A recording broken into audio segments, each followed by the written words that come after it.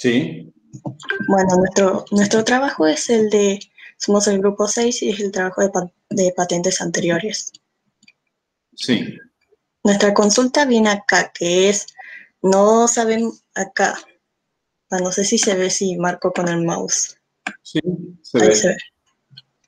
Bueno, esto, esto son tres patentes, o sea, es una secuencia de patentes en un solo string. Sí. Contiene tres patentes. Esto ingresa en el módulo, ¿no? Y nosotros nos andamos discutiendo sobre si, si se tiene que ingresar así explícitamente o si... Ah, no sé, es bastante complicado de explicar. La, idea es la siguiente ahí, ¿viste? En, en, el módulo 8 dice que es idem módulo 5. A ver, veamos qué, qué pedía el módulo 5. Módulo 5 decía, solicita una secuencia de patentes consultando al usuario si desea continuar y finalmente muestra la patente menor, ¿sí? Eh, volvamos al módulo 8. Mm, bueno, la, la, patente menor la vamos a considerar con, como una comparación lexicográfica, ¿sí? Entonces, eh, vos tenés dos formas de hacerlo. Imaginemos una sencilla que es llamar a un módulo que se llama módulo 8, ¿sí? el cual eh, eh, tenemos la posibilidad de, enviarle como parámetro al módulo 8 esta cadena, ¿sí? una cadena de caracteres que contiene un conjunto de patentes, o el módulo 8 puede solicitarle al usuario adentro del módulo una cadena de caracteres. ¿sí? Ahora, la cadena de caracteres va a ser suministrada por el usuario. Y esa cadena de caracteres va a tener un, conjunto de n patentes. En el ejemplo que se muestra ahí en, en pantalla, el ejemplo es una cadena de caracteres con tres patentes, pero el usuario podría ingresar una cadena de caracteres con 5, 10 patentes, 15 patentes. Es decir, la cantidad de patentes es indeterminada. Eh, es decir, a ver, si bien eh, el usuario puede ingresar una cadena de caracteres con una cantidad de patentes eh, que él decida, vos después vas a poder, vas a tener que primero verificar que esa cadena de caracteres incluya patentes bien formadas, ¿viste? Viste que uno de los primeros módulos era comprobar que las patentes respeten una forma que son las patentes viejas, ¿no? Tres letras y tres números, ¿viste? ¿Te acordás de eso? Mm, sí, sí, sí, sí.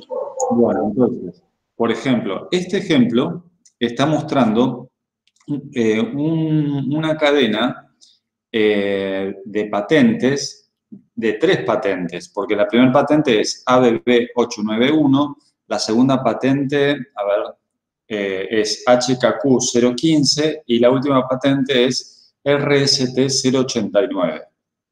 Entonces, lo que vos vas a hacer es, eh, supongamos que el módulo 8 no recibe como parámetros nada y dentro del módulo 8 vos le decís al usuario, por favor, ingrese una cadena de caracteres que incluya patentes válidas. El usuario eh, te ingresa la cadena de caracteres y vos lo primero que vas a tener que hacer es posiblemente llamar un módulo para verificar que esa cadena de caracteres contenga patentes válidas. ¿sí? Por ejemplo, viste que cada patente tiene, tiene seis caracteres. Tres primeros caracteres son letras y tres caracteres siguientes son números. Ya si la cadena que ingresó el usuario, la cadena de caracteres que ingresó el usuario, no es múltiplo de seis, ya te vas a dar cuenta que la cadena que ingresó no está bien formada. Y, además, si, si, aún si fuera múltiplo de 6, vos vas a tener que chequear que cada una de las patentes de esta cadena tenga el formato que, se requiere. Es decir, que las tres, primeras, eh, tres primeros caracteres sean letras y que los tres siguientes sean números.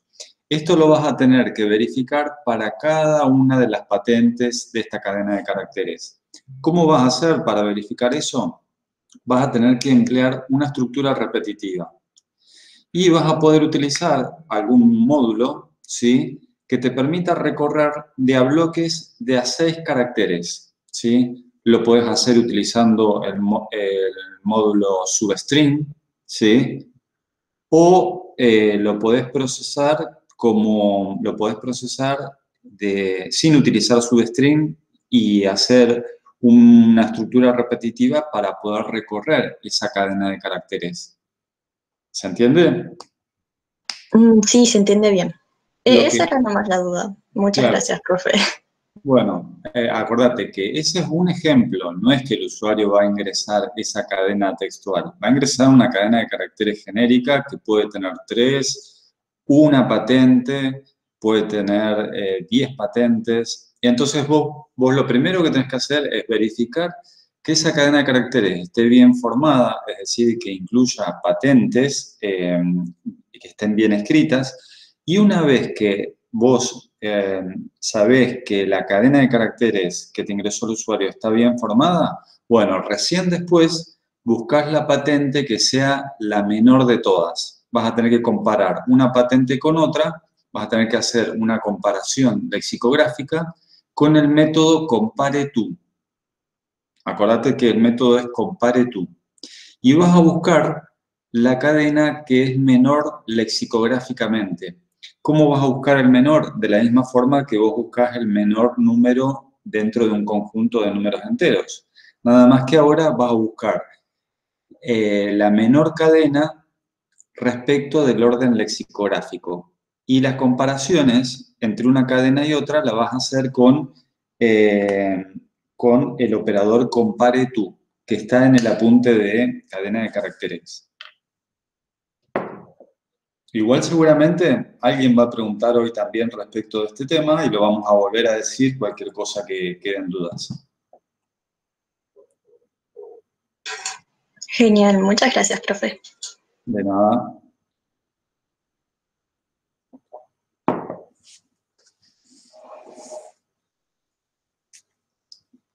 Si hay alguno de los que ingresó recién que quiera hacer alguna pregunta, bueno, recién, por ejemplo, Melissa compartió eh, un documento que fue el enunciado, pero se puede compartir un pseudocódigo, se puede compartir un Java y podemos hacer preguntas y ver alguna solución o alguna duda que tengan.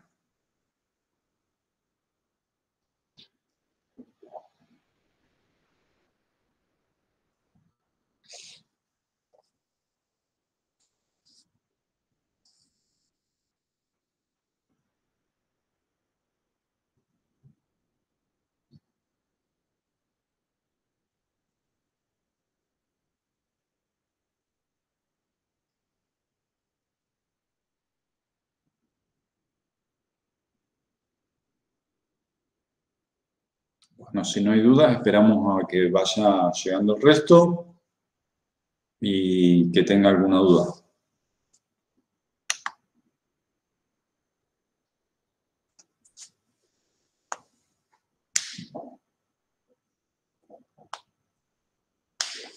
Eh, Melissa, ¿vos con quién estabas en el grupo?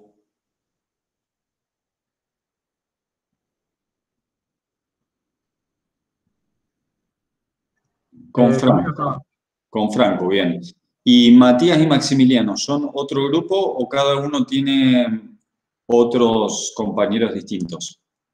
Hola, yo estoy con otra compañía que estoy esperando que entre y le hacemos la pregunta. Bueno, eh, bien.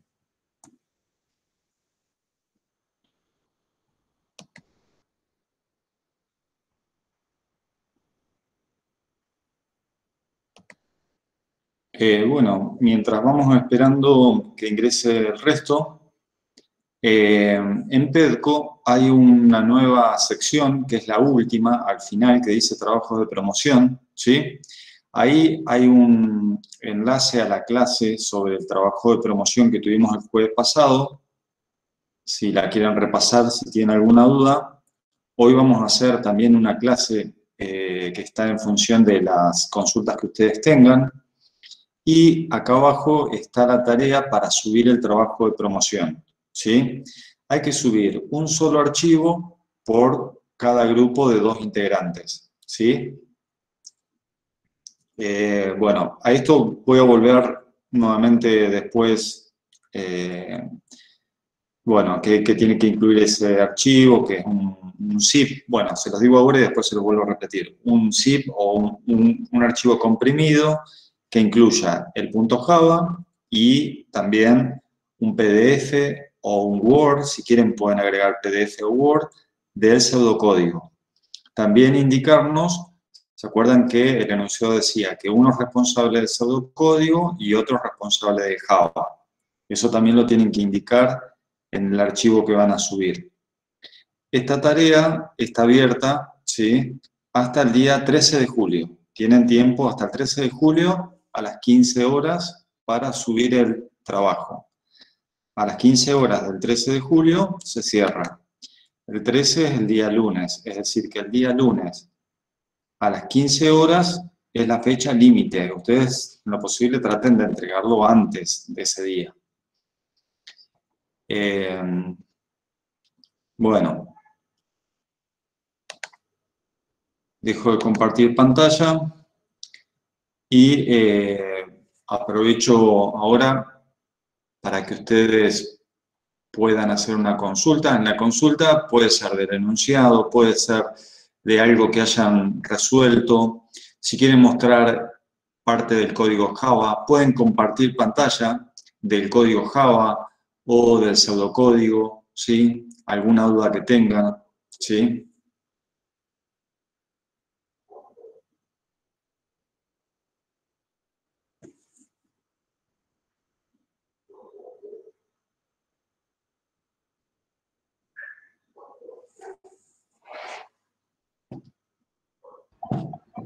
Profe, yo tengo una duda del denunciado. Muy bien. Eh, tenemos un módulo que dice, dado un string recibido como parámetro representando una patente, permite obtener una patente similar cuyo número esté incrementado en una unidad. Y no sabemos qué hacer en caso de que sea 999, por ejemplo, o sea, qué unidad pondríamos. O sea, qué número pasaría. Eh, eh, ¿Qué caso, por ejemplo? ¿Cómo? Eh, ¿Cuál sería el caso cuando no se puede empezar?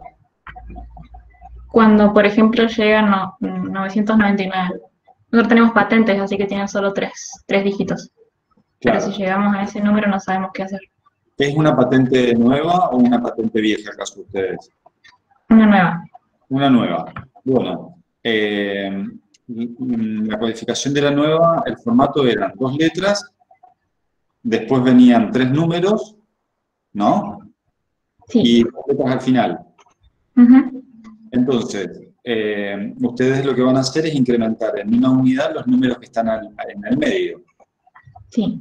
Suponiendo que los que están en el medio son 999, bueno, eh, supone que el siguiente es 000. Ah, claro. ¿Sí? Sí, sí.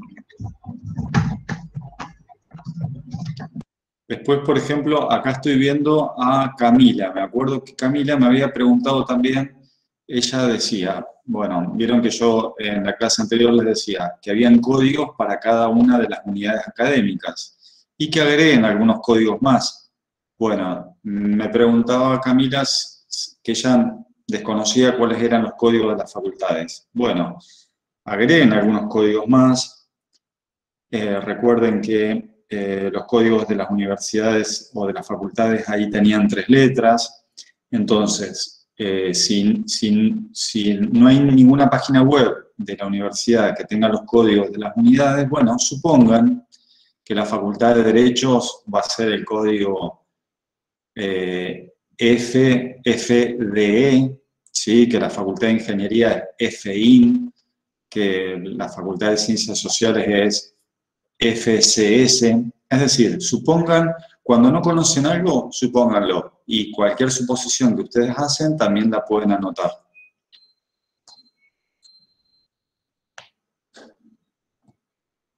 Profe. Sí. Nosotros teníamos el ejercicio de, eh, era de ingresar números de teléfono. Solamente aceptaba 14 caracteres, contando 4 para el número de mm, característica, uno por el guion y nueve números para el número de celular, número de teléfono. En el caso de incrementar una unidad, como el que tenía en el caso de Jimena, o Ximena, perdón, em, nosotros cuando ya no podíamos, o sea, cuando quedaba 9999, lo que pusimos fue que si llegaba ese caso, le pusiéramos que eh, no se podía incrementar en una unidad porque excede la cantidad de números o de dígitos de un teléfono. ¿Está bien así? Está bien, sí. Si lo supusieron así y lo aclararon, aclárenlo en, digamos, en algún comentario, está bien. La idea cuál era? Ese es un caso en el cual es prácticamente, mm, digamos, que hay que considerar algo, ¿no? Por ejemplo, en el caso de recién de las patentes, que los números eran tres, yo les decía, bueno, cuando lleguen a 999, el próximo número supongan que es 000, ¿sí? Ahora, si vos supones que cuando llega 999 no lo puedes incrementar, bueno, escríbanlo, ¿sí? Porque ese es el caso, es la excepción prácticamente a la regla. La mayoría de las veces no va a ser 999 y la idea es que ese ejercicio tiene un propósito, es tomar eh, aquel substring dentro de lo que es una patente o de un número telefónico, tomar un substring, convertir ese substring entero, sumarle uno y luego volver a producir un nuevo string, que es el string que tenemos que devolver como resultado. Es tan simple como eso, hacer esos pasos en orden. Eh, van a tener que tener una consideración especial en el caso de que sea 999. ¿sí? En el caso tuyo, recién que preguntabas, bueno, vos supusiste que cuando es 999, o eh, perdón, el número de teléfonos más largo son nueve números, son nueve nueves, eh, bueno, en ese caso, eh, vos estás retornando el mismo número de teléfono porque estás suponiendo de que no podés incrementarlo en una unidad. Bueno, está bien, no hay ningún problema, porque las pruebas que vamos a hacer el resto de los casos va a funcionar bien, ¿sí? Buenísimo, gracias, profe. Profe, nosotros tenemos el mismo caso y lo asumimos como que se iba a incrementar, pero que tenía que cumplir la condición de que iban a ser nueve caracteres, entonces se quedaban todos en cero. Bueno, cuando, cuando son números de teléfonos que tienen que, todos nueve, eh, vos estás suponiendo que el siguiente número es todo en cero. Son nueve, ceros. Exacto. Bien, no hay problema.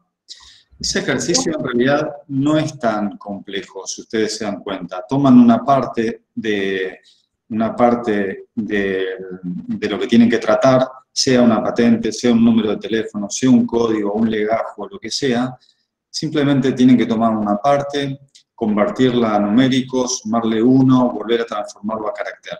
Quizás ese no es tan complejo. Hay otros módulos que sí, tal vez son un poco más complejos, ¿no? Sí, profe, y quiero hacerle una consulta que no es respecto al enunciado. Eh, mm. ¿Nosotros somos el, grupo ese que le figuraba que ya entregó?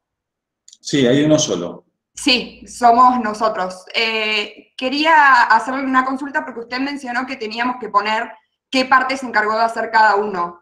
Pero nosotros hicimos todo por Meet, compartiendo pantalla y haciendo el código y el pseudocódigo eh, juntos los dos. Entonces no es como que nos encargamos de una cosa o de la otra, nos encargamos los dos de los dos, de las dos cosas.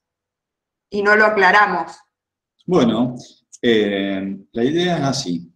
Nosotros eh, hicimos una propuesta. Están a tiempo todavía de mandar un mail. Me mandan un mail y me dicen la responsabilidad de cada uno. Es decir, hacemos una propuesta de trabajo en grupo fundamentalmente ¿por? Porque el día de mañana generalmente no van a trabajar como programadores en, en forma aislada. Van a trabajar en conjunto en un grupo de programadores y es importante también empezar a atraccionar, a trabajar en equipo, a ponernos de acuerdo, ¿sí? a programar en conjunto, hacer una parte uno y otra parte otra, ¿sí?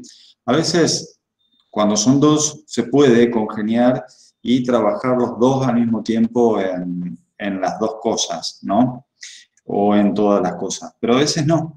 Entonces, lo que nosotros hacemos como propuesta es la siguiente. La responsabilidad sin duda es grupal, ¿sí? La nota, lo más probable es que sea grupal, pero les pedimos que al finalizar o durante también el transcurso del desarrollo, cada uno se haga responsable de una parte. Por más de que cada uno sea responsable de una parte, también vieron que el enunciado dice que las partes tienen que ser coherentes unas con otras. Es imposible que un grupo diga, bueno, a ver, voy a hacer el código que yo hago Java.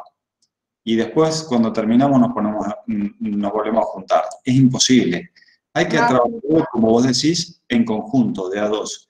Pero nos gustaría que el grupo que ustedes terminaron, bueno, completen la consigna y digan, bueno, María se encargó del pseudocódigo y Pepito se encargó del Java. Fundamentalmente para que haya también un sentido de responsabilidad y que cada uno le dé una última mirada, un último... Igual puedo hacer una aclaración porque yo entiendo que usted está explicando todo esto eh, porque es la primera materia de programación. Eh, nosotros estamos los dos recibidos de la, de la, Tecnicatura en Desarrollo y trabajamos juntos durante tres años en la Tecnicatura en Desarrollo y ahora trabajamos actualmente como programadores. Entonces como que estamos acostumbrados a ir mirando el eh, todo el tiempo el código del otro para ver que trabajemos con las mismas variables, con, con el mismo tipo de datos.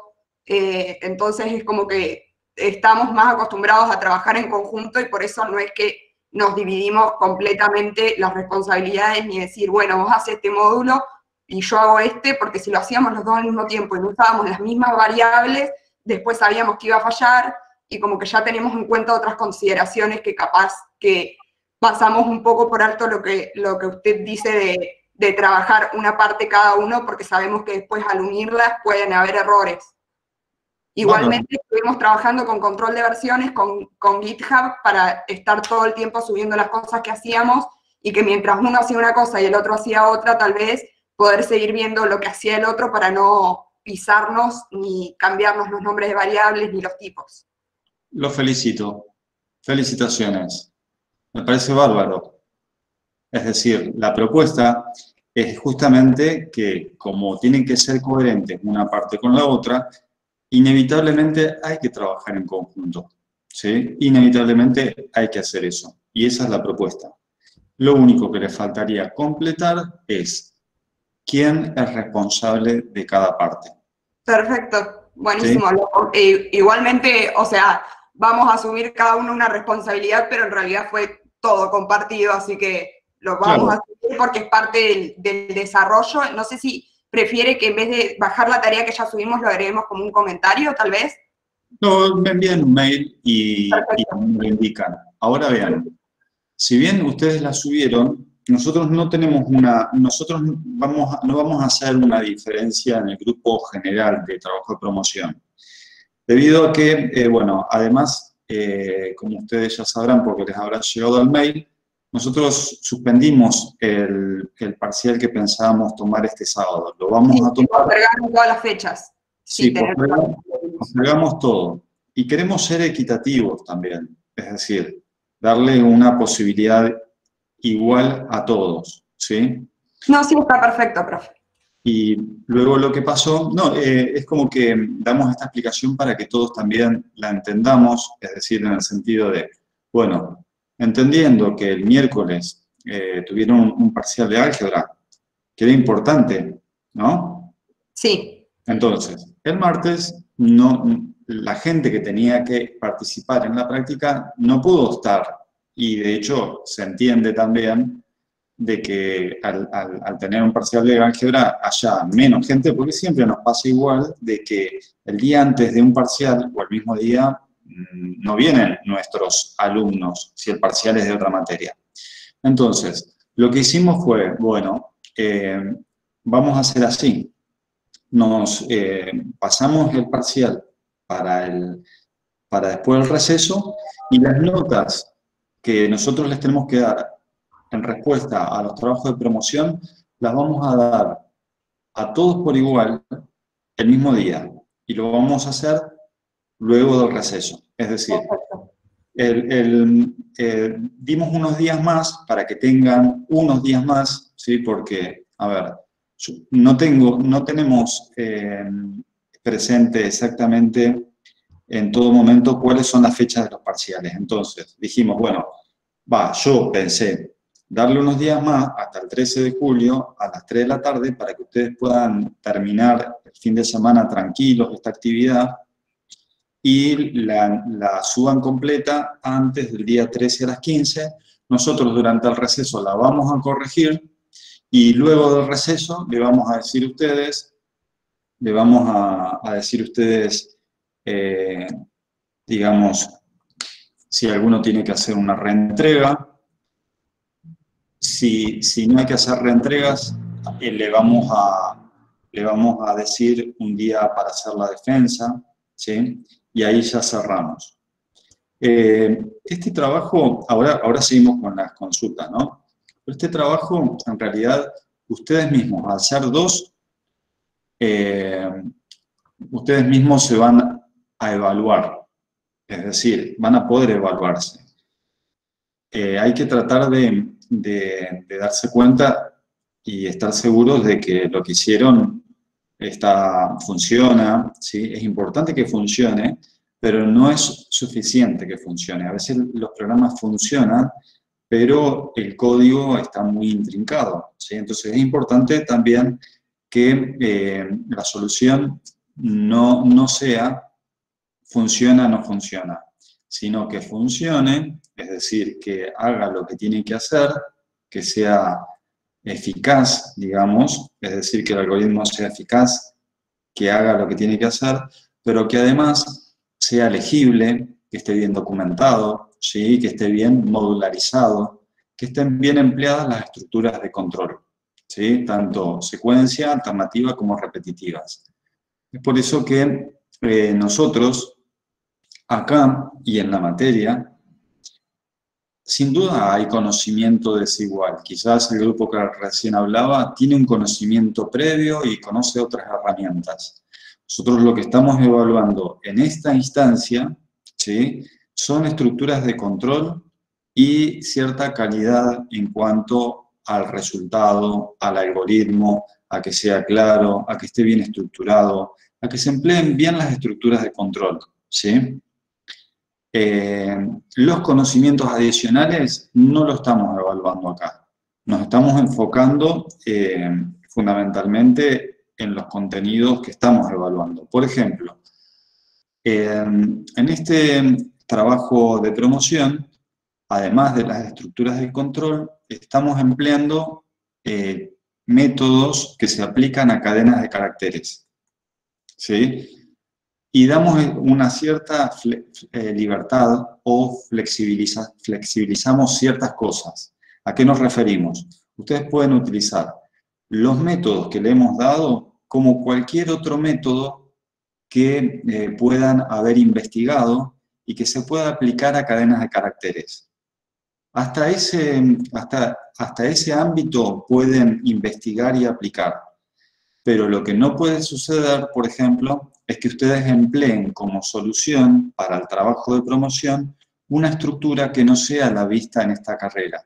¿sí? Por ejemplo, le digo, esto a, modo, de, eh, digamos, de poder ejemplificar hubo un ejercicio o un alumno que resolvió el segundo parcial empleando una estructura que es arreglos, que lo vamos a ver recién en la materia de desarrollo de algoritmos. Entonces, arreglos no, no se evalúa en resolución. Y por más de que la solución que él haya empleado sea correcta, funcione y esté perfecto como solución, no lo podemos considerar como bien, porque eh, nosotros estamos evaluando solamente estructuras de control y cadenas de caracteres. ¿Se entiende? Entonces, vamos a tener que tratar de limitarnos a los contenidos que se evalúan con las estructuras que nosotros eh, estamos indicando que se puedan usar. Se pueden usar cualquier método de cadena de caracteres y cualquier otro método que ustedes hayan googleado, o que conozcan eh, o que sea posible de emplear dentro del ámbito de cadena de caracteres. Profe. Sí. Y en el caso de usar un nuevo método, eh, ¿cómo lo especificamos en pseudocódigo? Si ustedes lo quieren usar, es decir, si vos lo querés usar. El otro día, en, en teoría, digamos, alguien mencionó un contains, creo, ¿sí? Bueno, ¿cómo lo especificamos en pseudocódigo? Simplemente lo escribimos en español, ¿sí? Contiene, por decir algo, si el método es contains. Y si es otro método, bueno, lo traducimos en castellano. Empleamos los parámetros que correspondan, ¿sí? En pseudocódigo, en realidad escribimos, digamos, simplemente el mismo nombre que tiene el método en inglés, lo escribimos en castellano, en español, digamos. Pero no, no, no es que todo el mundo va a utilizar un método distinto. Simplemente que hay alguno que pueden haber googleado o haber investigado o, por alguna razón a través de la experiencia que tiene previa eh, puede, digamos, haber conocido algún método extra de cadena de caracteres, entonces, bueno, también se lo dejamos usar. Porque la idea, ¿cuál es la idea ahí? ¿Por qué se lo dejamos ahí usar y no una estructura no? La estructura como un arreglo no lo vimos. Lo que sí vimos fue métodos de cadena de caracteres y también estamos tratando de que ustedes sepan modularizar. Entonces, cada vez que uno emplea un método nuevo eh, para cadena de caracteres, tiene que saber cuál es el objetivo del método, qué parámetro le vamos a enviar y qué resultado nos devuelve.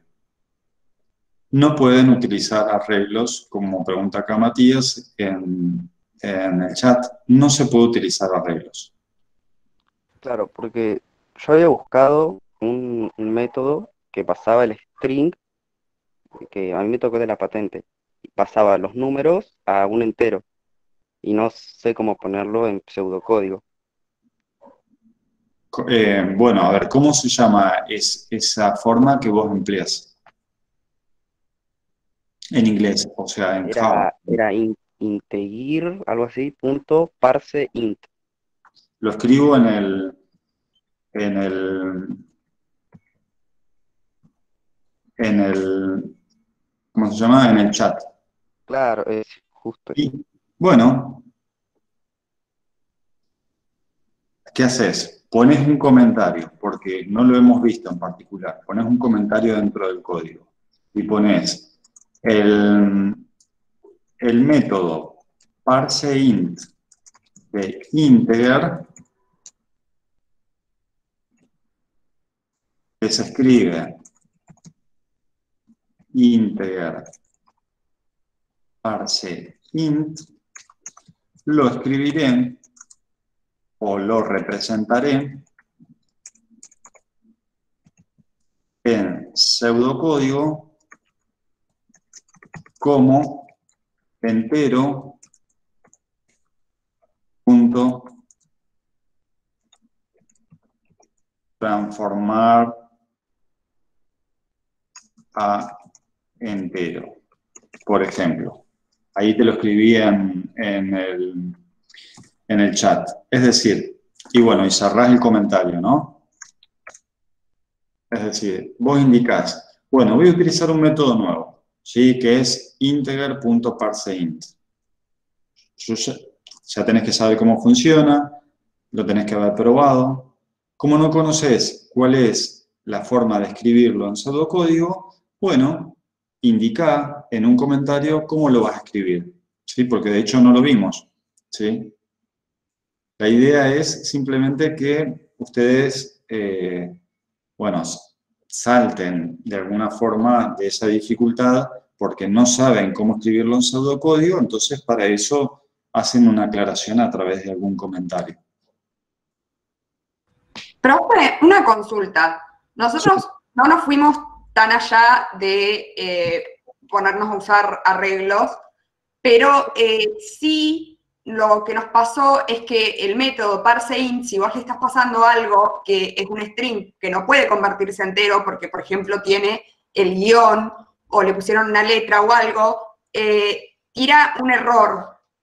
Entonces, eh, nosotros utilizamos una estructura que no fue vista en la clase, que es un try and catch, para atrapar esa excepción, ese error que se genera al, utilizar el parse int. No sé si, si, se puede utilizar, igualmente explicamos cómo se utiliza. Claro, a ver, nosotros cuando tenemos que transformar algo a entero, eh, tenemos algunas herramientas para hacerlo. ¿sí? Hay algunas herramientas que están mencionadas por ejemplo, transformar un carácter entero, me parece al final del, del enunciado del trabajo de promoción, y hay otras herramientas, en realidad, que eh, están mencionadas en los prácticos, de cómo transformar un dígito en carácter, cómo, cómo transformar un carácter en entero, es decir, hay distintas transformaciones. La idea es la siguiente, que ustedes van a tener elementos distintos, ¿no? Uno tendrá una patente, otro tendrá un legajo, otro tendrá un, teléfono, ¿sí? Y a veces estos elementos tienen letras y números. Entonces, lo primero que tienen que hacer es que antes de manipularlos, tienen que verificar que ese elemento tenga la codificación correcta. Supongamos que son patentes viejas. Las patentes viejas tienen tres letras y a continuación tres números. Entonces, cada vez que me ingresa una patente el usuario, yo tengo que llamar a un método que verifique que esa patente esté bien formada o sea una patente legal o sea una patente válida. Cualquier nombre le pueden poner. ¿Qué hace ese método? Ese método verifica que los tres primeros caracteres sean una letra y los tres últimos sean un número y dependiendo de cada uno de los elementos, hay un método que tiene que verificar que el elemento sea correcto. Si ya sabemos que el elemento es correcto porque llamamos a este método y nos devolvió true, ¿sí? después, si nosotros tenemos que manipular una parte o, un, o una subparte o un substring de, ese, de, ese, de esa patente e incrementarla en una, en una unidad, por ejemplo, bueno, yo ya sé que los últimos tres caracteres son números. Entonces, el parse int no va a fallar. Claro, nosotros porque estábamos, eh, también observando la posibilidad de que el usuario no contemple lo que nosotros le estamos pidiendo y que eh, ingrese un carácter extraño, una letra o algo que no correspondiese, entonces a la vez eh, usamos el método parseInt para para verificar que sea un número, pero si, como nosotros contemplamos esa opción de que el, usuario nos puede estar ingresando cualquier otra cosa que no es válida, como que vimos que la única forma de, resolver la excepción que tira el parseInt en ese momento era con un try catch para eh, capturar el error en el caso de que... No, nosotros tenemos que, eh, si lo hicieron así, vuelvan a plantearlo. Lo que tienen que hacer es llamar a un método que verifique que ese elemento eh, que sea una patente, por digamos si es una patente, sea una patente correcta. El método te va a retornar true o te va a retornar false. Te retorna true si la patente es correcta y false en caso contrario. ¿sí? Siempre llamar ese método. En el caso de que el usuario ingresó una cadena de caracteres que no representa una patente, Simplemente hay que decirle con un mensaje de error, la patente no es válida, ingrese una nueva patente. ¿Sí? Y esto para cualquier elemento.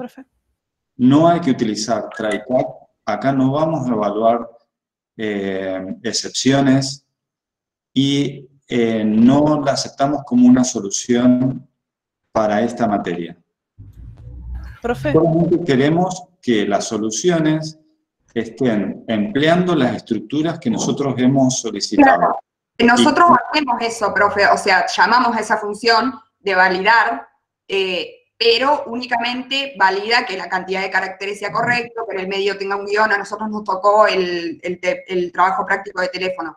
Verificamos que eso sea correcto, pero eh, claro, nosotros estábamos contemplando más errores de los posibles, estábamos contemplando que el usuario no, no no diga, no haga lo que nosotros le estábamos pidiendo.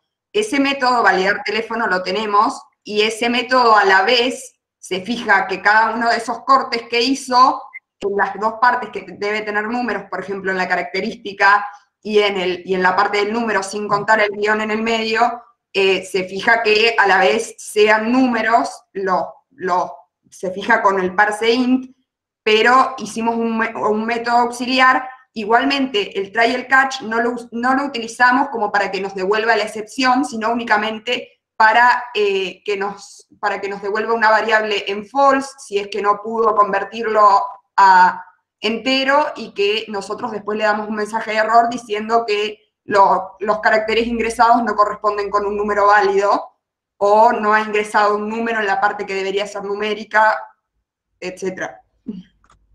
Eh, yo lo único que voy a verificar es que el método, digamos, haga un recorrido de, esa cadena de caracteres y en el caso de un teléfono, si es un número de teléfono, lo que tiene que verificar, eh, ese método verifique que la longitud sea la acertada. Supongamos que las características, dijiste que eran tres caracteres. Cuatro.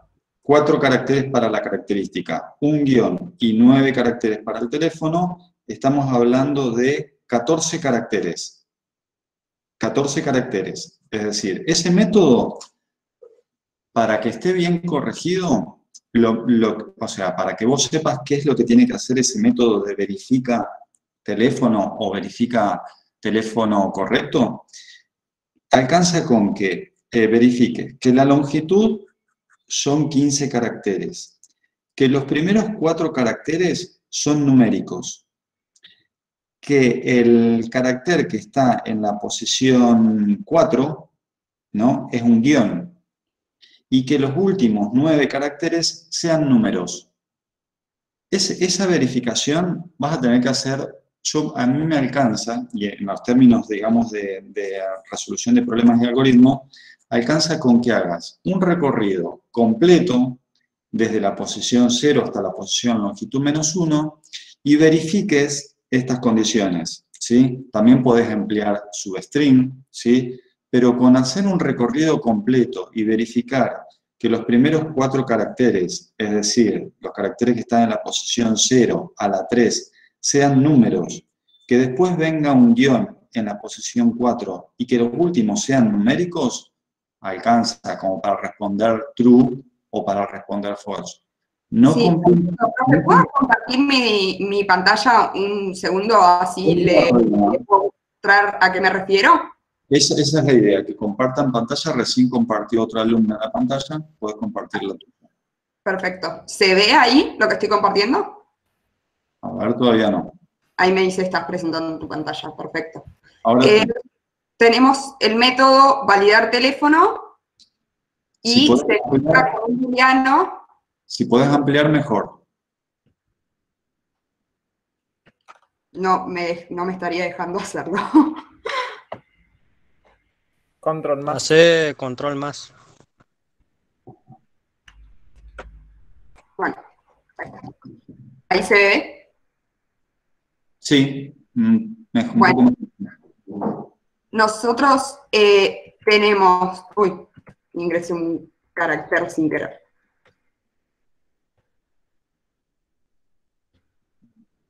Nosotros tenemos un método validar teléfono que tenemos el, el booleano si es válido, que lo inicializamos en falso, nos fijamos que, el que la longitud del teléfono sea igual a 14, nos fijamos que, bueno, que en la posición 4 esté el carácter de el guion medio y después cortamos la característica y el teléfono para fijarnos si son numéricos y acá es donde digo que usamos el try el catch. Porque igual únicamente devolvemos un true o un false. Si... Está bien. Bueno, está bien. A ver. No está mal. Está corregido como bien. Eh, la, estructura, la estructura está bien empleada, ¿sí? Mm, no lo veo mal, porque de hecho, fíjate, si volvés al método anterior, hiciste en parte lo que, se, lo que yo te estaba indicando. Por eso, es, lo que yo me refería, que no es que, no es que reemplazamos lo que usted nos pide por eso, sino que hicimos una verificación adicional porque, bueno, como, como le había dicho que nosotros ya hacemos esto, estamos acostumbrados capaz a verificar un poco más de lo que se pide en la materia, y como que capaz no, fue un poco más de lo que lo mismo, porque en realidad, fíjate, la longitud que sea 14, que en la posición 4 esté el guion. Sí. Este, después lo que haces es recortas la parte de la característica, después la del número y verificas que sea numérico. Suficiente. Claro, por eso, o sea, por eso me refería que capaz no... Todo- hasta ahí es exactamente lo mismo que en RPA. Ahora, el método isNumeric, ¿sí? Algún otro, en lugar de utilizar eh, try y catch, otro, en re- esos son temas que no se conocen en RPA. Sí, Entonces- lo sabemos, por eso, por eso también eh, cuando lo utilizamos, pusimos en el comentario que utilizamos el try y el catch, eh, ya que lo habíamos utilizado en otros proyectos anteriormente y pusimos más o menos de qué se trata eh, el try y el catch y cómo funciona. ¿Cómo harías vos, por ejemplo, si no tuvieras try catch para verificar que la cadena que te envían como parámetro está compuesta por enteros? Tendría que verificar tal vez con, un- con el inter parse int cadena dentro de un if eh, que me esté, que el retorno de eso, digamos, porque en realidad el tema de eso es que la función, cuando va, buscamos lo que hace la función, si vamos acá, y eh, nos devuelve eh, excepciones, si no, y deberíamos compararlo con, deberíamos compararlo a ver si se hizo un entero o si no se hizo un entero. Si Bueno. no se hizo un entero, eh, devolver Supongamos que ahora ni siquiera tenemos parseInt, porque no, no sabíamos que existía parseInt hasta esta clase. ¿Cómo lo haríamos? Tenemos una cadena y tenemos que verificar que esa cadena está compuesta por caracteres numéricos, sin utilizar ni try ni catch, ni parseInt, ni ningún otro método.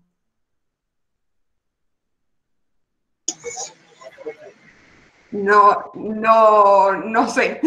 Sinceramente, la cadena con un for y buscar si es en caracteres de un dígito. Claro, Exacto, hacer un recorridos recorrido de la cadena. de la cadena. Exactamente. Es decir, fíjate, por eso a veces, sin duda, obviamente, Claro. uno de cosas se acostumbra a cosas nuevas, Sí. pero tenemos que poder evaluar, y este es el caso, de que en realidad con las estructuras de control que vemos en, en la materia, que son alternativas, repetitivas y secuencias, podemos hacer verificar carácter por carácter. el parse int, claro. Primero, sería un recorrido, emplearían una estructura repetitiva, eh, perdón, sería un recorrido total o parcial. Total, porque debería verificar que todos, que todos y cada uno de los caracteres de la cadena sean numéricos. ¿Están todos de acuerdo? Pero no mí un guion parcial. en un lado. Va, en realidad sí, ya si encuentra uno que, que no es numérico, cortaría la cadena, así que sí, puede ser. Dependiendo que estoy evaluando la cadena entera o estoy, o estoy evaluando la cadena cortada. Si yo, Claro. porque yo tengo el número de teléfono entero con el guion en el medio, me cortaría en ese momento y no me estaría sirviendo. Bueno, en este caso, eh, estamos suponiendo tu caso, que era que vos al método le estás enviando ya o la característica o le estás enviando eh, el número de teléfono. Sí, Entonces, fíjense, sin utilizar parseInt, sin utilizar try catch, un método isNumeric que le vamos a enviar característica o le vamos a enviar el número de teléfono, el método este, ¿qué debería hacer? Debería verificar que una cadena de caracteres está compuesto por caracteres numéricos. Y para hacer esa verificación de que sea una, una cadena de caracteres compuesto por caracteres numéricos, vamos a tener que emplear un recorrido parcial, no un recorrido total. claro. ¿Por qué? Porque empezamos a recorrer la cadena, si vienen dígitos, no hay ningún problema, pero si nos encontramos con un carácter que no es dígito, tenemos que cortar el recorrido, y es por eso que es un recorrido parcial.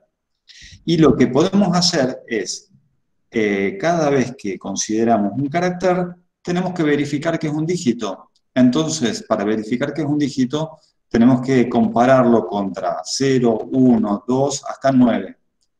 Estos métodos, eh, eh, parseInt o algún otro método, ustedes lo pueden construir con los recorridos que les dimos en la materia, ¿sí? Esa es la idea. No hay, no hay, no, o sea, para eso es esta, también la clase, para que se den cuenta. Este método isNumeric, ustedes lo pueden hacer con un while, un while directamente, utilizando los tres métodos más simples de cadenas de caracteres, que son, van a tener que utilizar charat para obtener un carácter, van a tener que utilizar un, operador de igual a igual para comparar si el carácter que está en una determinada posición es igual a 0, igual a 1 o, igual hasta 9, ¿sí? Y después van a tener que utilizar el método len, ¿sí? Porque vamos a tener que recorrer la cadena desde la posición 0 hasta la posición longitud menos 1. Entonces, con un mientras, un recorrido parcial y una comparación de cada uno de los caracteres contra un número, ya lo pueden hacer. Cada uno, o sea, ¿cuál es la propuesta de este trabajo? Que ustedes lo hagan. Lo puede, a ver, si uno lo, hace con eh, parse int y lo empleo bien, válido, está corregido como bien. Y si otro ni siquiera conocía parse int y hace un recorrido parcial y como yo les indiqué recién, perfecto, porque esa es la idea de la materia, hacer un recorrido parcial cuando sea parcial, hacer un recorrido total cuando sea total. Este es un recorrido parcial. Claro. Lo que sí, ¿Esto se nos recomienda que lo dejemos o lo cambiemos a como dijo el recorrido? Yo lo que te recomiendo es esto, que por ejemplo, está todo bien con tu trabajo, eh, está, está, déjalo así porque ya lo hiciste, lo que no puede suceder es que, por ejemplo, lo que yo, lo que te preguntaba al principio, ¿viste? ¿Cómo lo harías si no tuvieras parse int? Claro. Y, que vos, y que vos dudes, ¿entendés? Porque si, vos, yo no dudo de que vos sos técnica en desarrollo web y que de hecho lo podés hacer. Si, si lo tuvieras que pensar un poco en un parcial, lo, solucionaría seguramente. Sí, es que en los parciales lo solucioné, pero ahora como, como, bueno, dije, capaz tengo la posibilidad de usar otro método que me ahorre líneas de código y optimizar un poco más. Claro, pero yo lo que te estoy diciendo acá es, sí. pensá y ten en cuenta cómo lo resolverías con las estructuras mínimas, porque ese es el ejercicio de esta materia.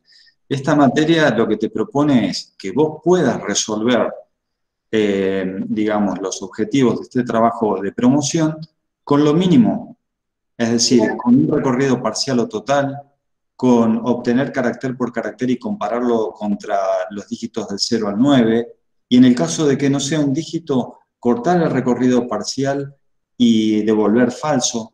Todo eso, esto que te estoy diciendo, es lo que nosotros aprendimos a construir en RPA. Y la invitación es, bueno, repensar, así como... Repensar un poco para atrás. Claro, como decir, bueno, ahora tengo menos herramientas como para construir algo. Bueno, con estas pocas herramientas, ¿cómo lo puedo hacer? ¿Sí? Y quizás este mismo ejemplo, bueno, el día de la defensa, podemos nosotros revisar tu, tu, tu trabajo en conjunto con tu compañero y decirte, bueno, ¿cómo lo hubieras resuelto sin try catch y, sin eh, parse int. Y vos ahí vas a decir, bueno, emplearía un recorrido parcial, eh, que, ¿cómo harías? O te podríamos preguntar, ¿cómo harías para que ese recorrido parcial, en el caso de detectar un carácter que no es un número, eh, corte el recorrido en la estructura repetitiva? Y ahí vos mismo dirías, bueno, emplearía una variable booleana, ¿sí? Que esa variable interviene en la condición de, la estructura repetitiva. Eso es lo que nosotros dialogamos de alguna forma en una defensa. Claro, nosotros, por ejemplo, en algunos otros ejercicios utilizamos cosas que, por ejemplo, el replace, que no, por lo que vi, no está en, los materiales, pero también a la vez, eh, en vez de usar solamente el replace, eh, eh, pusimos también el otro método, ya que teníamos dos formas de hacerlo, eh, y mostramos las dos posibilidades de hacerlo, porque Vale. sabemos que probablemente capaz también en la defensa, eh, si no lo hubieses hecho así, como lo podrías haber hecho, se evalúe más de una, de una posibilidad para hacer las cosas. Claro, es decir, lo importante, a ver, eh, el, ¿cuál era el método que aplicaste, eh, dijiste recién? Era eh, que creo que alguien lo había preguntado yo la semana pasada. replace, El replace. El replace también lo puedes usar. No hay, no hay problema. Pero, a ver, para que vuelva a quedar claro, eh, no hay inconveniente en utilizar métodos de cadenas de caracteres. claro. Veo Bueno, como que a la vez también podríamos, en vez de haber reemplazado, haber concatenado, entonces como aprovechamos que teníamos eh, dos, dos condiciones, como lo que habíamos hablado del número cuando era todos nueves, eh, ahí aprovechamos y hicimos las dos posibilidades. bárbaro, bárbaro. Bueno, esas eran todas mis consultas. Le doy la oportunidad a alguien más de consultar, ya que estoy hablando hace mucho tiempo. Bueno, pero no viene mal, digamos, tu pregunta como para entender, digamos. Es decir, mientras no supere, eh, digamos, ahí lo que veo extra es el tema del trial catch, no hay problema, no hay problema, pero que quede claro, digamos, ¿no? Eh, que si se te hace una pregunta, vos tenés que poder responder con las estructuras mínimas vistas en la materia. Entonces, hace, tratar de hacer un ejercicio de revisar el trabajo práctico que ustedes entregaron para ver cómo lo hubieran solucionado si no hubieran tenido ni try ni catch ni parse int. ¿sí? Claro, justo, justo me, me agarró en blanco, profe, y en Sí, este momento no se me ocurrió otra cosa para try catch. Está, no hay problema.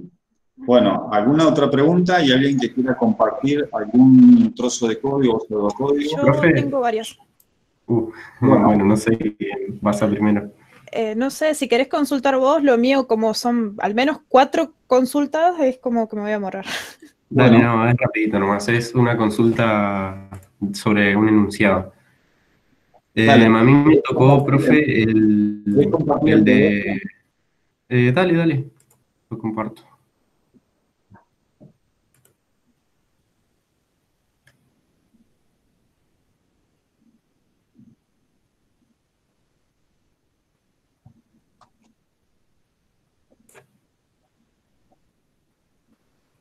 ¿Se ve ahí? Todavía no. Ahora sí, ahora estás compartiendo. Bien. Dale. Bueno, eh, mi consulta es sobre este módulo, eh, Sí. el 9. Eh, lo que tengo, mi pregunta es, eh, es un módulo que cuenta, a ver, acá está este, que tiene que ingresar un código de vuelo y tengo que contar la cantidad de veces que se duplica, digamos.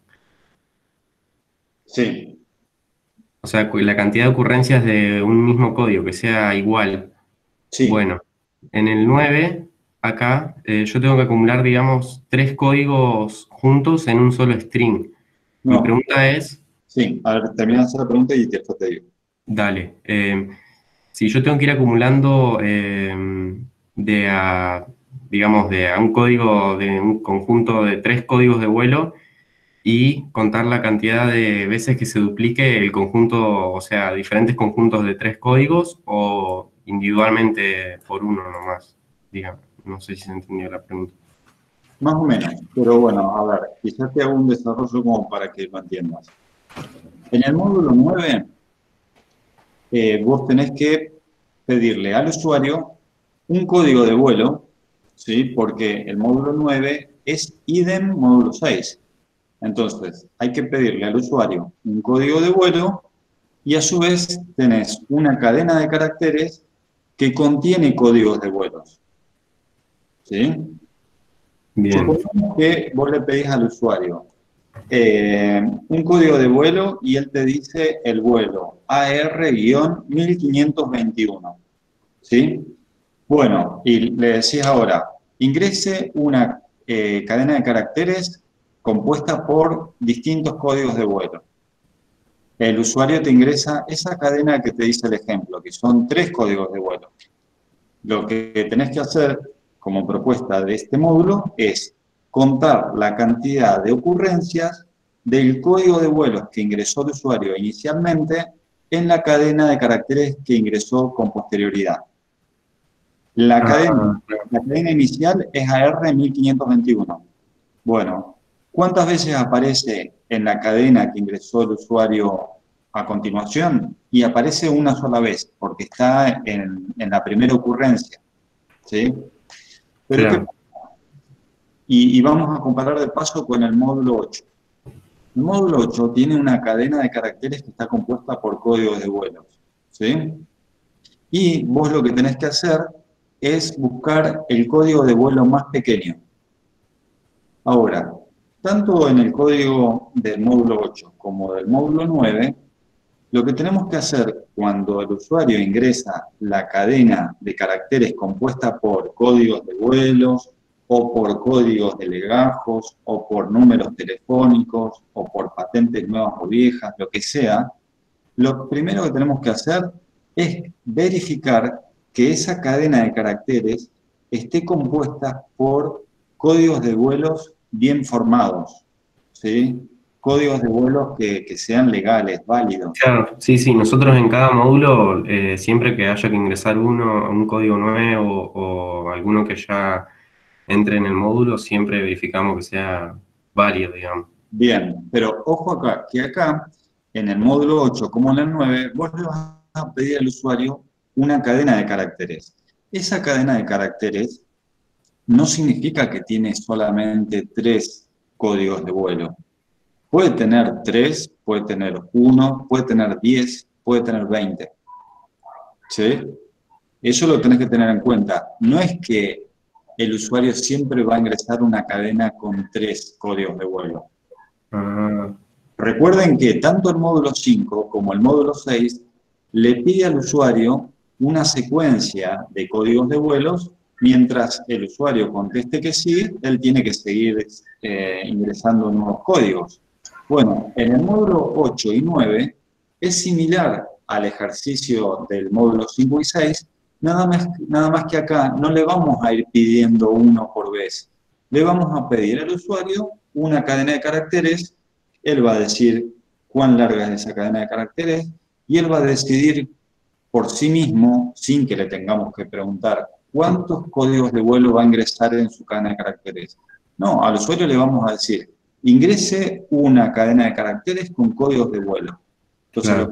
lo, lo primero que tenemos que hacer nosotros es, seguramente, llamar un módulo al cual le vamos a pasar la cadena de caracteres que acaba de ingresar el usuario, y ese módulo va a tener que verificar y recorrer esa cadena de caracteres desde el comienzo hasta el final para verificar que eh, los códigos de vuelo que él eh, puso en esa cadena sean correctos. ¿Cómo lo van a hacer? Bueno, ahí cada uno tiene su forma de programar. Por ejemplo, una persona en ese otro módulo que verifica que la cadena de caracteres está compuesta por códigos de vuelos correctos, quizás hay, algún alumno que decide tomar un substring, ¿sí? Los primeros, eh, a ver, serían los primeros siete caracteres de la cadena de caracteres. Suponete, en este ejemplo del, del módulo 9, que tenemos una cadena de caracteres formado por tres códigos. Bueno, si vos tomás el substring desde la posición 0 hasta la posición 6, estás tomando el primer código de vuelo. ¿Sí? Bueno, una vez que seleccionás ese substring, se lo podés mandar ese substring al método que verifica si un código de vuelo está bien formado. Vieron que había, espera, espera un minutito. Vieron que había un módulo que recibía un código de vuelo y devolvía si no. Bueno, vos podés fraccionar esa cadena de caracteres de tal forma de ir tomando trozos, ¿sí? E ir verificando que cada uno de estos códigos sea correcto. Si alguno de estos códigos no es correcto, entonces le tenés que decir al usuario, por favor, ingrese otra cadena de caracteres que incluya códigos de vuelos eh, válidos. ¿Se entiende? sí, se entiende, profe. Es, esto, estos dos ejercicios, el 8 y el 9, son los más complejos. ¿Por qué? Porque hay que hacer un tratamiento de una cadena de caracteres y hay que ir tomando en forma fraccionada ¿sí? los distintos códigos y a su vez llamando a otros módulos que ya implementamos antes para verificar que cada uno de estos códigos de vuelos son códigos de vuelos aceptables. ¿sí? Pero eso lo tenemos que resolver con una estructura repetitiva, ¿sí? En este caso hay que hacer un recorrido parcial también de, este, de esta cadena de caracteres, que en el mejor de los casos va a llegar hasta el último código de vuelo y el último código de vuelo también va a estar bien. Pero si en el recorrido de ir tomando cada una de sus partes encontramos que alguno de los códigos de vuelo no está bien porque los dos primeros caracteres en lugar de ser letras son signos de admiración, bueno, entonces ya todo el método retorna que no, que, que no es correcto esa cadena de caracteres. Profe, ¿y no estaría bien descartar el código que es incorrecto en la cadena? No, porque, a ver, eh, yo lo que les decía es que hagan un tratamiento, llamen un módulo que verifique que toda la cadena de caracteres sea correcta. ¿Por qué? Porque ¿qué pasa si, una, si un, código de vuelo no tiene la, longitud deseada? Se nos ah. todo el recorrido. Claro. Entonces, si la cadena de caracteres chequea que ya hay un código de vuelo que no está bien formado, es decir, que no es correcto, que no tiene las dos, que los dos primeros caracteres son letras, un guion y un número, bueno, ya retornamos que no. ¿Sí? Pero, pero la propuesta es hacer un recorrido, tratar de estructurar ese recorrido, ¿sí? ¿Cómo haría yo si tengo un módulo aparte que verifica si una cadena de caracteres tiene códigos de vuelos bien formados? Y bueno, lo más probable es que voy a tratar de procesar esa cadena larga tomando los primeros, eh, digamos, tomando de a siete caracteres, ¿sí? los primeros siete caracteres componen el primer código de vuelo. Ahí el código de vuelo tiene dos caracteres para, eh, dos caracteres que son letras, un guion son tres, más cuatro números, cuatro y tres son siete. Entonces lo que podemos hacer es, eh, a la cadena original le podemos quitar los primeros siete caracteres.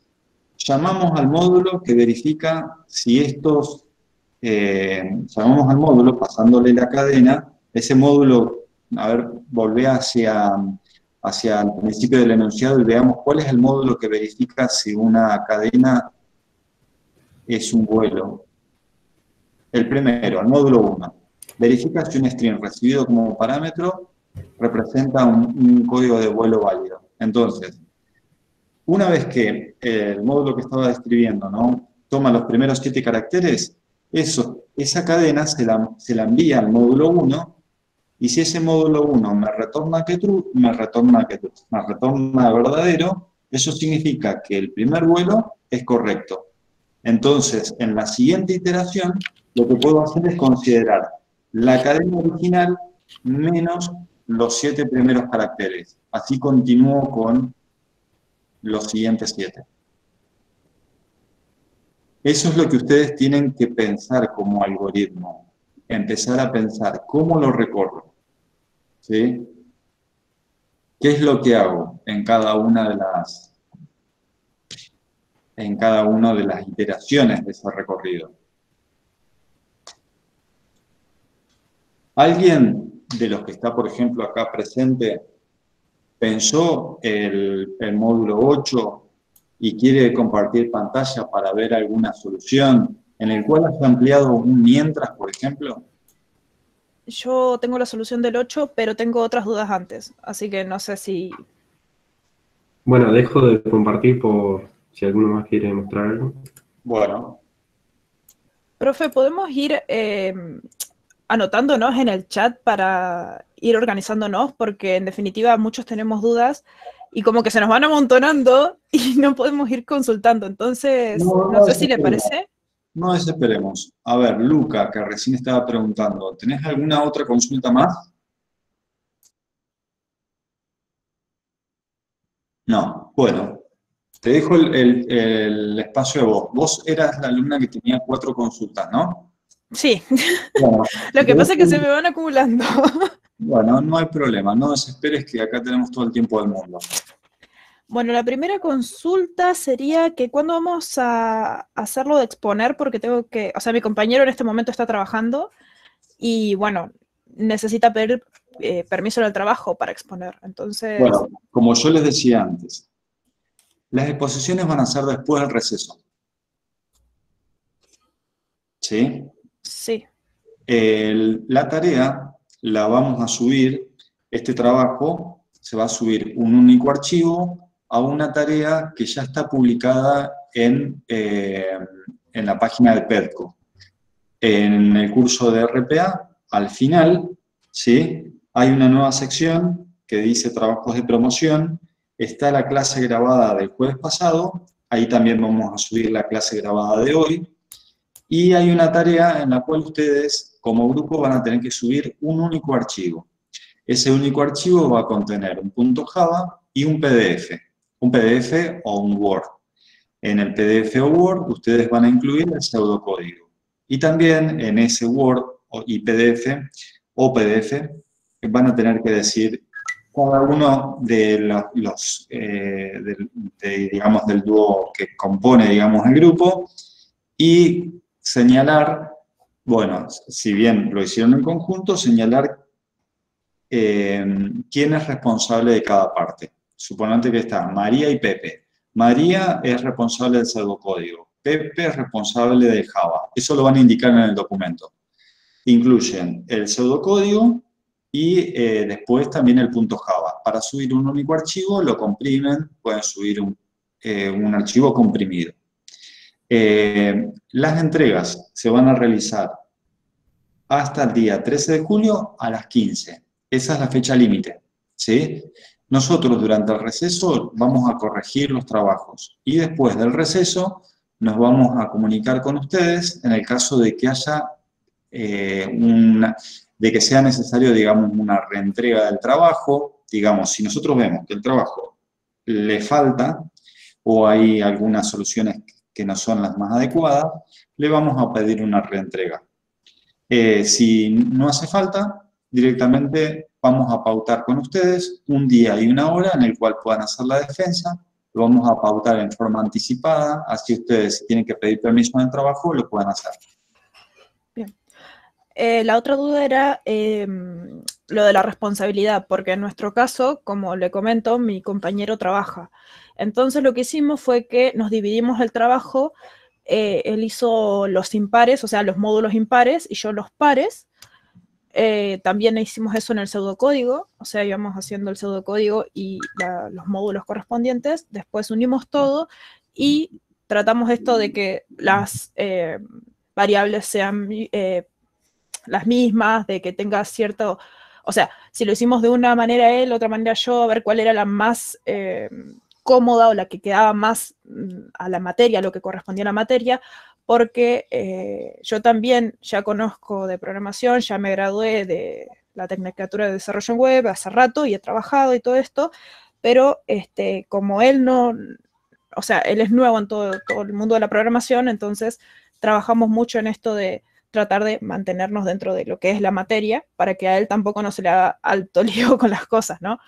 Eh, entonces, bueno, tratamos de que, por ejemplo, si él utilizó un while, eh, verifica un, sí, un, do while y yo utilicé un while, ver por qué lo usamos así, qué era lo que podíamos cambiar, o bueno, en el caso de, de, de los recorridos, a ver qué, qué, tipo de recorrido nos convenía más. Nosotros en nuestro caso también trabajamos el de números de teléfono con cuatro números, el guion y los nueve dígitos del, del teléfono.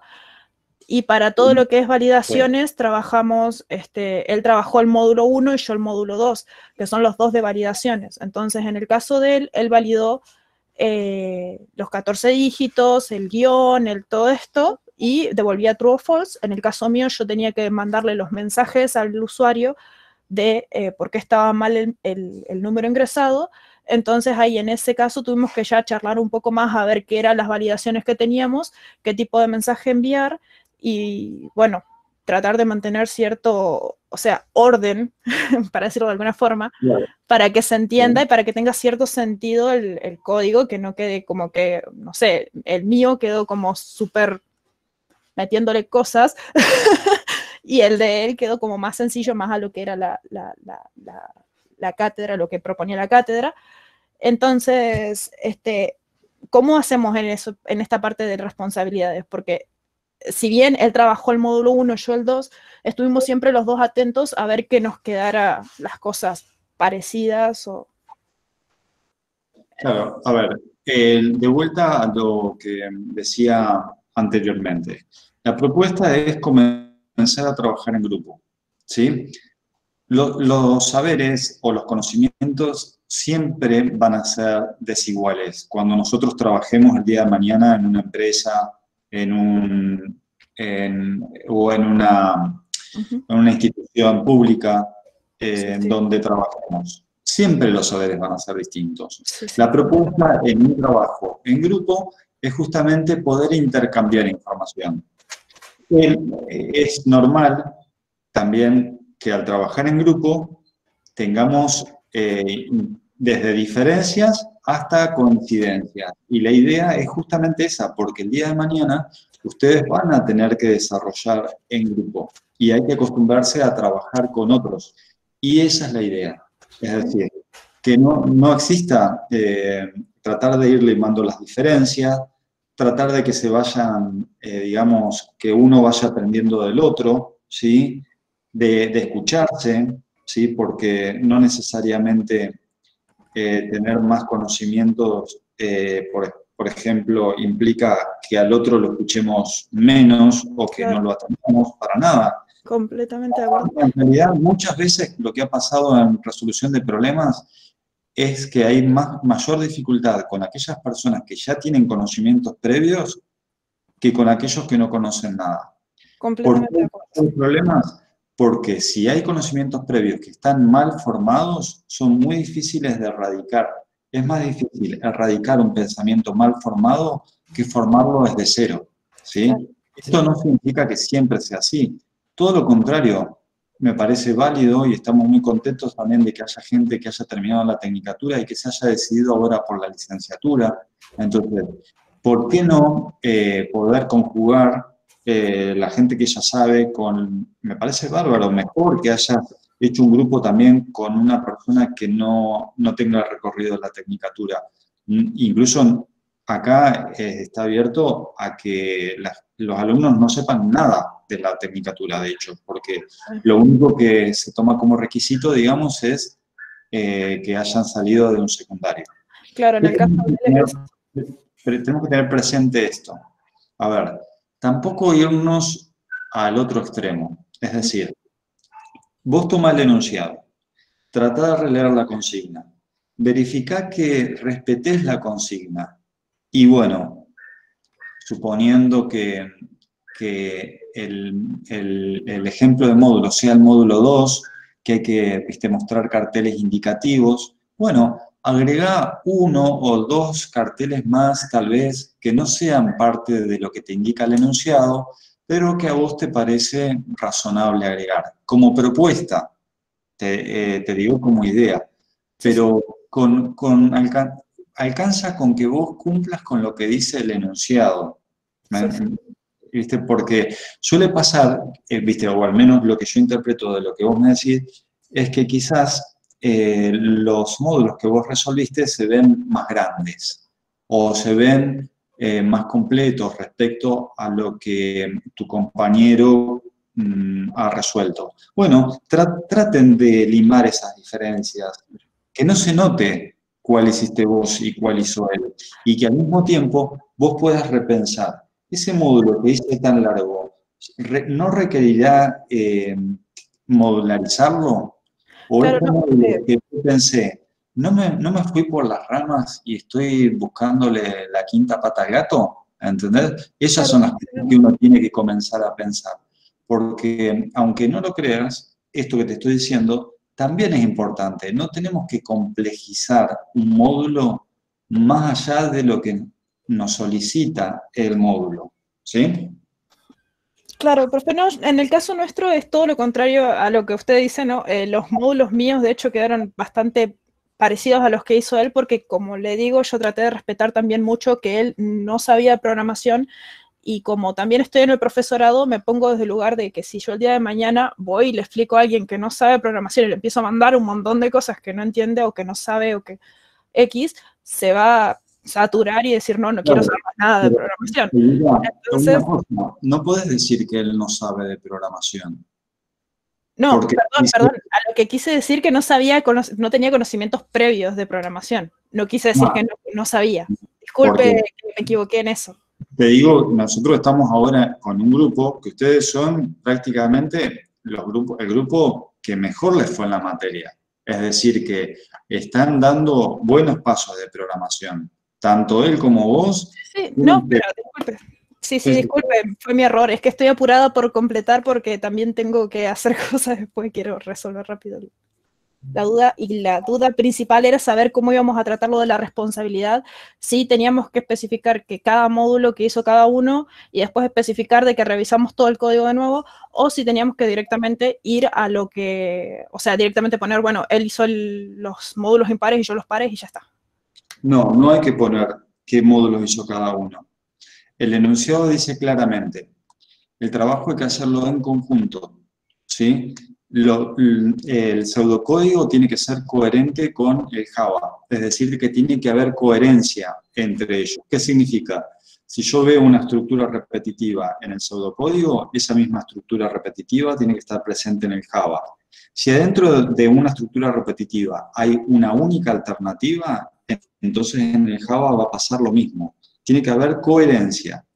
El grupo se encarga de que ambas partes sean coherentes y luego tienen que responsabilizarse un alumno por el pseudocódigo y un alumno por el Java. Esto es tan simple, esa responsabilidad, es como darle la última mirada, yo suponga, yo, yo estoy haciendo grupo con alguien, bueno, y yo me voy a hacer cargo del pseudocódigo, bueno, le doy la última mirada y de última le pregunto a mi compañero, che, mira, acá esta variable no le pusimos un nombre significativo. Pongámosle un nombre significativo. O acá agreguemos un comentario. Entonces, cada uno al final se hace parte, se hace cargo de una parte nada más. ¿Sí? Sí. Bien. Eh, de una parte de los módulos pares y, de y vos de los módulos impares. No, no, no. Vos, María Elvira, te harás cargo del pseudocódigo y el del Java. O al revés. Bien, bien. Eso era todo, en definitiva. Las consultas. Bueno, viste que no eran tantas. Sí, sí, está bien. No hay que desesperar. Es más, si ustedes quieren hacer otra ronda de preguntas el viernes, que es feriado, yo no tengo problema en atenderlos. No tengo problema. Pero eh, me lo tienen que indicar. ¿Alguna otra pregunta? ¿Alguien que compartir pantalla? Sí, Matías, te escucho. Darle comparto pantalla. Les muestro primero el PDF y después en Java. ¿Puede ver la pantalla? Sí. Bien. Eh, Acá en módulo 4 dice, dado dos strings recibidos como parámetros, verifica si la primera temperatura es igual que la segunda temperatura. Y en anterior, módulo 3, considere que debe comparar el igual unidad de medida. Ahí, en ese caso, tendría que hacer las conversiones de las temperaturas según lo que haya ingresado, ¿no? Sí, ¿cómo eran las temperaturas en tu trabajo? ¿Cómo se, se ingresaban? Celsius y Fahrenheit. Ah, y la escultura. sí, la escultura. Ajá, bien. Bueno, ahora le dejo compartir esta pantalla y le muestro el, Hay que comparar si dos temperaturas son iguales, ¿no? Sí. Bueno, pero mi pregunta en realidad es, en el caso de que cuando tenga que convertir una temperatura en otra, las, las conversiones me las hace mal, porque estoy buscando primero cómo se pasa una temperatura a otra por internet, y y, los resultados me dan con, con número con coma yo.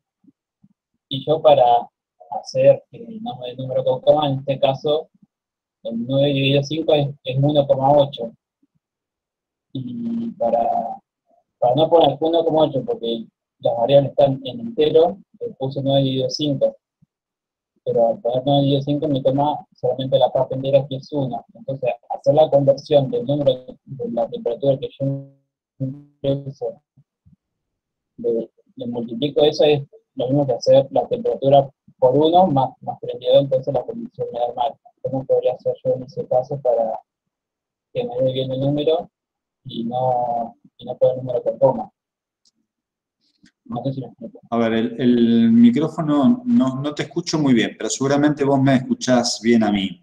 A ver, eh, el formato es más menos y dos números para la temperatura, ¿no? Bueno, eh, Sí.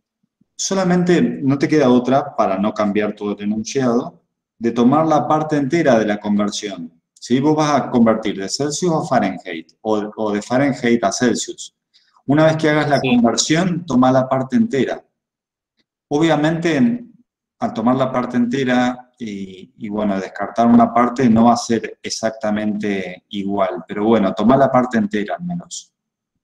De todas formas, a, ver, a mí me parece que el enunciado, a ver si lo volvés a compartir.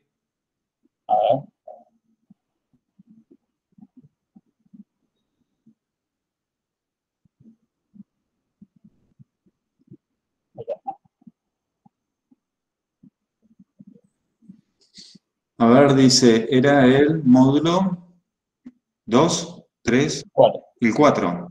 Dados dos strings recibidos como parámetros, verifica si la primera temperatura es igual a la segunda temperatura. Considere que debe comparar en igual unidad de medida.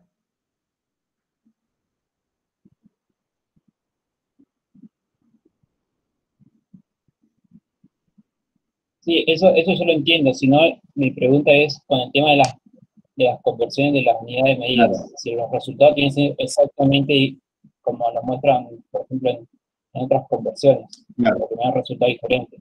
Claro. Es decir, bueno, vamos a tener en cuenta eso. Es decir, vos decís eh, que al convertirlo, al perder cierta precisión, digamos, no es la misma temperatura. Bueno, eh, vamos a considerar eso. Es decir, si, si llegamos a comparar el módulo 2 cuando lo chequeemos, vamos a tratar de comparar dos en las cuales nos dé la conversión sea exacta, ¿sí? Bien. Eh, Como mínimo. sí, Como mínimo chequear que estas, estas dos temperaturas, suponete en el caso de que sean Celsius las dos, que este, que este módulo funcione bien para temperaturas que vengan las dos Celsius o las dos Fahrenheit, ¿sí? Y en el caso de que venga una Celsius y otra Fahrenheit, bueno, vamos a tener en cuenta esto que vos decís, porque la conversión al manipular solamente dos dígitos no siempre es exacta, vamos a considerar ese caso, que, que bueno, que, que vamos a considerar un caso en el cual sí de exacto. Bueno, y tengo otra duda más. Por ejemplo, si yo ingreso una temperatura bajo, bajo cero, por ejemplo, 25 Celsius bajo cero, después 32 Celsius ba- bajo cero, eh, ¿cómo? No, perdón, en los tre- 30 32 Celsius positivos, digamos. ¿Cómo hago el tema del resultado si me da positivo o negativo? ¿Cómo tendría que el el cambio de, del, del, del signo, bueno, y el resultado de según lo que me dé. Y nada más que todo me refiero al, signo, no tendría que ser el cambio. Vos decís al transformar de Celsius a Fahrenheit. No, no, eh, ahora no, me refiero ahora eh, al tema del, del, del número. Por ejemplo, si la cuenta me da con un número negativo o positivo. Porque cuando ustedes de una cuenta, pongamos que son dos temperaturas de, de igual escala, ¿no? Y, y una es menor que la otra, una es bajo cero y la otra no, y me da un, un resultado bajo cero, ¿cómo tendría que hacer el, resultado si ya tengo un signo que tenía anteriormente, porque cuando hago ese ejemplo, lo pruebo, me da dos, dos signos juntos. No sé si me explico. Eh, la o sea, la temperatura que des como resultado tiene que tener un solo signo. ¿Sí? ¿En qué ejercicio, de, qué, módulo me estarías hablando ahí, por ejemplo? Eh, estamos hablando del, mismo módulo, si no estoy, me refiero en ese caso de que me retorne un, valor negativo, porque dentro de la estructura de los dos dígitos, uno, en, uno de los dos dígitos me, devuelve un valor negativo y ya, ya tiene otro signo anterior que tenía, ¿me entiendes? Si la conversión te da un signo eh, determinado, bueno, entonces directamente el resultado que sea con el signo que te da la conversión. Bien.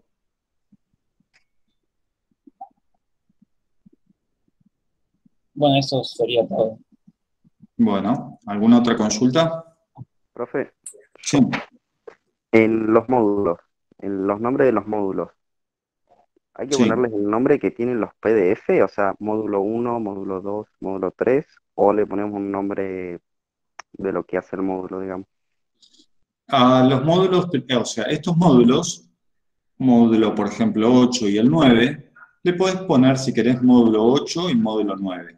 También le puedes poner un nombre más significativo, si a vos te parece, ¿sí? Eh, por ejemplo, eh, eh, módulo 9, módulo 8 creo que era obtener temperatura, mm, mm, mayor temperatura, ¿sí? O le puedes poner un nombre así, un nombre significativo con palabras, o le puedes poner módulo 8 y le puedes poner también módulo 9. Lo que tienes que tener presente es que tanto en el módulo 8 como en el módulo 9 es muy probable que vos tengas que crear otros módulos. ¿Sí? Que tanto en el 8 como en el 9 tengas que modularizar. ¿Eso qué significa? Que para resolver el 8 y el 9 vas a llamar a otro módulo. Por ejemplo, un módulo que sea verificar cadena de caracteres correcta, que te devuelva true o false, donde ese otro módulo que se llama verificar cadena de caracteres correcta va a ir tomando cada una de las partes de la cadena de caracteres y va a llamar a su vez al módulo 1, que es el que verifica si, por ejemplo, eh, por ejemplo, si una, si una patente es válida o si un código de aeropuerto es válido. El módulo 8 como el 9 requieren modularización. Ah, yo hice en el 7 nomás modularización. Pero, y le puse módulo 7 auxiliar. ¿A eso le tendré que poner un nombre significativo a, cada módulo o se los dejo con, el número, digamos? Y eh, ahí módulo 7 auxiliar no me gusta mucho como, como nombre. Eh, quizás le tendrías que poner ahí un nombre más significativo. Todo, siempre que vos puedas construir un módulo, siempre que utilices un nombre significativo es mejor. ¿Sí? Bueno, buenísimo. Siempre mejor. Ahora, acordate que módulo 8 y 9 requieren más, más modularización que, que los primeros, ¿no?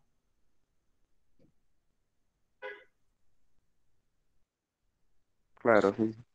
Acá eh, Norberto dice ahí en el chat que pueden utilizar el método isDigit, ¿sí? Creo que ese método también estaba eh, incluido en el enunciado de un trabajo práctico.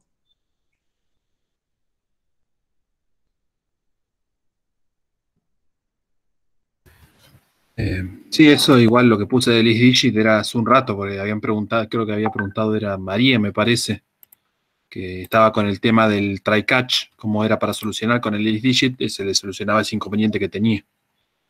Claro.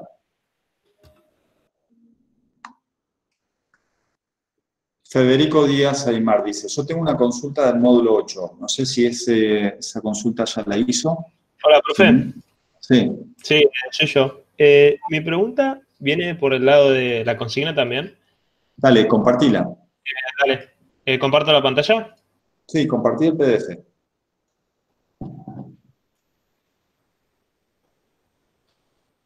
Eh, ahí está. Eh, también es el módulo 8 y el 9.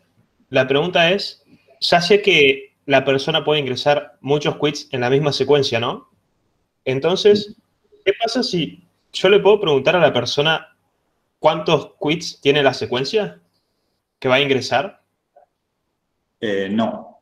Ah, ok. Vos, eh, por ejemplo, en el 8 solamente tenés una cadena de caracteres y en el 9 vas a tener eh, un quit y después una cadena de caracteres. Es decir, en el 8 le pedís una sola cosa al usuario, que es una cadena de caracteres, ¿sí? que va a incluir esa cadena de caracteres un número de quits, un Sí. número X de quits, pero no le tenés que preguntar cuántos quits va a tener la cadena. Eso lo vas a tener que, lo vas a tener que averiguar vos. Primero, por ejemplo, un quit, ¿cuántos dígitos comprende? Eh, 13, en total son 13 números. 13. Letras, Bueno. 13 números y millones, digamos. Bueno, lo primero que vas a hacer es la longitud de la cadena, si la dividís por 13, ya te va a dar un índice de cuántos quits ingresó el usuario. Si, si la longitud de la cadena dividido 13, eh, perdón, si la longitud de la cadena módulo 13 no es igual a 0, ¿qué pasaría? Eh, hay un quit que está mal, o la secuencia sería inválida, en realidad. Tal cual. Ahí ya le respondes al usuario, la cadena de caracteres no incluye eh, quit válidos, porque ya sabes que te, que te está queriendo ingresar, digamos, una cadena de caracteres que no es múltiplo de 13, porque cada quit tiene 13 dígitos, y si no es múltiplo de 13, con seguridad hay un quit que está mal escrito. Así que le decís al usuario, mm, se la rebotás. ¿sí? Bien. Y, y, bueno, en el caso de que sea múltiplo de 13, lo primero que tenés que hacer es verificar que cada uno de estos quits esté bien formado. Entonces, como yo les decía anteriormente, tanto el módulo 8 como el módulo 9, una vez que le pedimos al usuario una cadena de caracteres, vamos a tener que llamar a un módulo que se llama verificar cadena de caracteres correcta, ¿sí? donde ese módulo va a verificar, por ejemplo en este caso, que la longitud de la cadena sea múltiplo de 13, y si lo es, va a tener que tomar cada uno de los quits y llamar al módulo 1 con cada uno de estos quits que va a ir considerando. Pero lo va a tener que hacer utilizando un recorrido parcial, ¿sí? ¿Por qué? Porque en el caso de que encuentre que alguno de estos quits no está bien formado, tiene que cortar de recorrer y tiene que devolver falso. Si ese módulo que verifica que la cadena de caracteres está bien formada me retorna falso, bueno, le tenemos que volver a pedir al usuario que ingrese una cadena de caracteres correcta. ¿Se entiende? Eso es lo que hay que hacer. Sí, Ahí sí. hay, hay que modularizar. El 8 y el 9 tienen que llamar a un módulo que se encargue de chequear que la cadena de caracteres sea correcta. Si no lo es, tiene que retornar que no lo es con un false. Y volver a pedirle al usuario otra cadena de caracteres hasta que la cadena de caracteres que, que ingrese esté bien formada, que sea correcta. Y recién luego que verificamos que la cadena de caracteres ingresada por el usuario es correcta, recién luego el módulo 8 va a det- detectar el quit con el mayor DNI o el módulo 9 va a detectar cuántas ocurrencias de otro quit que ingresó el usuario está repetido en la cadena de caracteres. Bien. Este, el 8 y el 9 son fundamentales. Y es fundamental que entre los dos traten de encontrar, entre los dos en cada grupo, traten de encontrar la mejor solución y que esa solución sea correcta y que la forma de procesar cada uno de los quits en la cadena esté bien tomada. ¿sí? Eh, es decir, podemos utilizar, por ejemplo, el método substring para extraer una subcadena de la cadena original. ¿sí? Sí, nosotros lo habíamos hecho así, eh, pero justamente preguntándole cuántos quits había. Eh, esto de, de ver si es multi- eh, múltiplo de 13, agrega un par de líneas, pero no creo que cambie tanto lo que tenemos hecho ya. Tal cual, es, es agregarle un poquitito más de inteligencia a lo que ya tenés desarrollado, tal cual. Eh, bueno, mi duda era esa. Eh, gracias, profe. Bueno, ¿alguna otra pregunta? Profe, ¿le hago una consulta? Sí. Eh, con respecto a ese mismo módulo, al 8, por ejemplo, que dice que es idem al módulo 5. Ahí yo, por ejemplo, lo había interpretado que en el módulo 5 el usuario va a ir ingresando, en nuestro caso es una cadena, o sea, un horario. Y le teníamos que ir preguntando si quería ingresar otro. Entonces entendía que, que eso se repetía del módulo 5 y cada ingreso del usuario nosotros lo teníamos que concatenar en una variable de texto y luego trabajar de, bueno, en, todas las cosas que dice el módulo 8. No, eh, esto lo explicamos en la clase pasada eh, y bueno, a ver, eh, si bien dice idem módulo 5, el módulo 8, en realidad el módulo 5 lo que hace es encontrar, encontrar qué busca en el caso de los horarios. El horario más temprano. Claro, sí. Sí, no entendíamos por qué era idem, porque en, el 5, por ejemplo, buscaba el más temprano y en el 8 busca el más tarde, una cosa así. Claro, a ver. O sea, el funcionamiento, Claro, en realidad uno busca el horario más temprano durante el día, suponiendo que esas horas son durante el día, y el módulo 8 busca el horario más tarde. Pero en realidad, mm, idem no es, en realidad sí, es cierto, lo tenemos que haber redactado. El módulo 5 es pidiéndole al usuario horario por horario, ¿sí? tal cual ustedes lo han hecho en el trabajo práctico, perdón, en el parcial 2, y preguntándole al final de cada iteración si desea continuar. Ingresando un horario, lo procesás, desea continuar, ¿sí? En cambio, en el módulo 8, no le vamos a pedir al usuario que ingrese un horario por vez. Le vamos a pedir al usuario directamente una cadena de caracteres completa que incluya una cantidad que no sabemos cuánto es, de un conjunto de horarios que vienen todos como una cadena.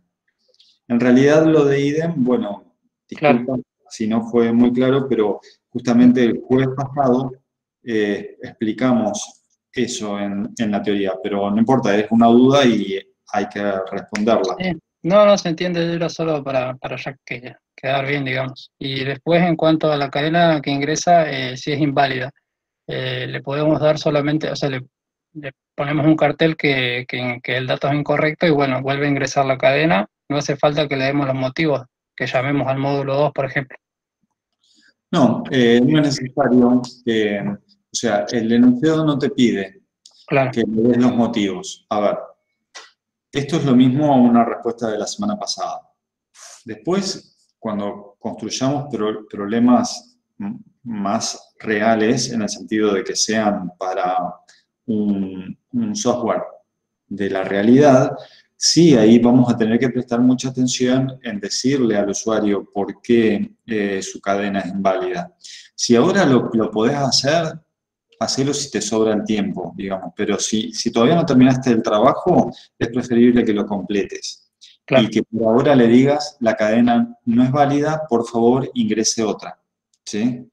Ah, Porque el enunciado no te lo dice, pero, viste, eh, hicimos este ejercicio el jueves, juntarnos para entender qué es lo que pide cada, cada módulo y mínimamente ir pensando cuál es la solución, porque eh, para evitar confusiones, ¿viste? Por, ejemplo, hoy alguno tal vez pudo dar a entender que entendía que la cadena de caracteres tenía solamente tres componentes, y no, eh, la cantidad de, componentes de, la cadena de caracteres varía. también está buena la, la, charla porque otro pensó que, bueno, le podíamos preguntar cuántos componentes tiene la cadena de caracteres al usuario. Y no, no es la idea. Eso lo tenemos que verificar nosotros en función de si es múltiplo de la longitud que, tiene el componente a verificar. Entonces, esas son las cosas que nosotros tenemos que pensar y por eso nos reunimos para dar, darnos cuenta de cómo debería ser la solución. ¿sí? Yo lo que espero que en el módulo 8 y en el módulo 9, en todos los trabajos prácticos que se suban, haya un recorrido parcial, ¿sí? Es decir, que en el caso de no verificarse una determinada condición, no se continúe recorriendo la cadena. Es decir, que sea un recorrido parcial y no total. Que en términos de Java sea un mientras o un repetir hasta, un do while, ¿sí? Y no sea un for. ¿sí? Esas son las cosas que son útiles de, de ir reforzando. Y a su vez que exista modularización. Que el módulo 8 no esté resuelto todo en el mismo módulo sino que llamen a otro módulo, donde ese otro módulo a su vez llama al módulo 1, ¿sí? y que haya reuso de los módulos anteriores. ¿sí? Si queremos comparar fechas, eh, fechas o componentes, bueno, acuérdense que ustedes ya desarrollaron un módulo, no me acuerdo si fue el módulo 2, 3 o 4, que hace comparaciones de menor o hace comparaciones de igualdad, cada vez que necesitemos comparar los componentes, vamos a tener que llamar esos módulos. Buenísimo, profe, gracias, se entendió. Bueno.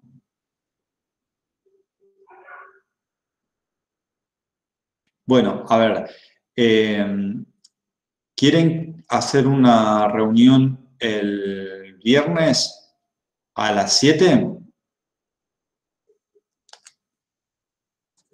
para otra ronda de consultas, las que queden?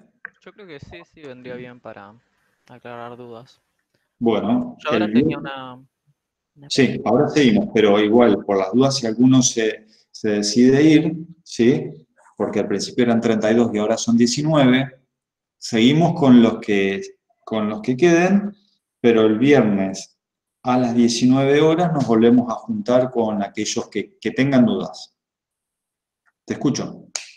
Genial. Yo en el de legajos lo comparto. Bueno. A ver. Es una duda, chica. A ver, una ventana. Eh, ay. Ay, no me aparece la ópera. Fuck. Bueno, en el de legajos, que a ver, puedo decir por abrir. Eh, me dice de DNI en un momento habla de DNI. Y nosotros con mi compañero interpretamos que se refería a la identificación del alumno en la unidad, ¿no? Tipo, porque nos pide, finalmente muestra que el legajo con el DNI más grande y DNI no había usado ese término, o sea, es la primera vez que usa el DNI ahí, ¿no? Entonces mi duda es... Eh, son legajos y que no incluyen DNI. Quizás eh, estamos capaz que está mal redactado el enunciado de si Puede ser, o, nosotros eso interpretamos como que se refería a la identificación. A ver, que ahora lo comparto si lo puedo ver. Ahí está. Debería de ser ahí. mil cosas, pero no importa. Mm, mm, mm, Supongo que es esto. Avísenme ahí cuando se vea que está haciendo la cargación. Ahí está cargando, sí. A ver, ahí sí se ve. Legajos alumnos. Bien. Entonces, nosotros lo único más cercano a DNI esto representa la identificación del alumno en la, unidad, en la unidad.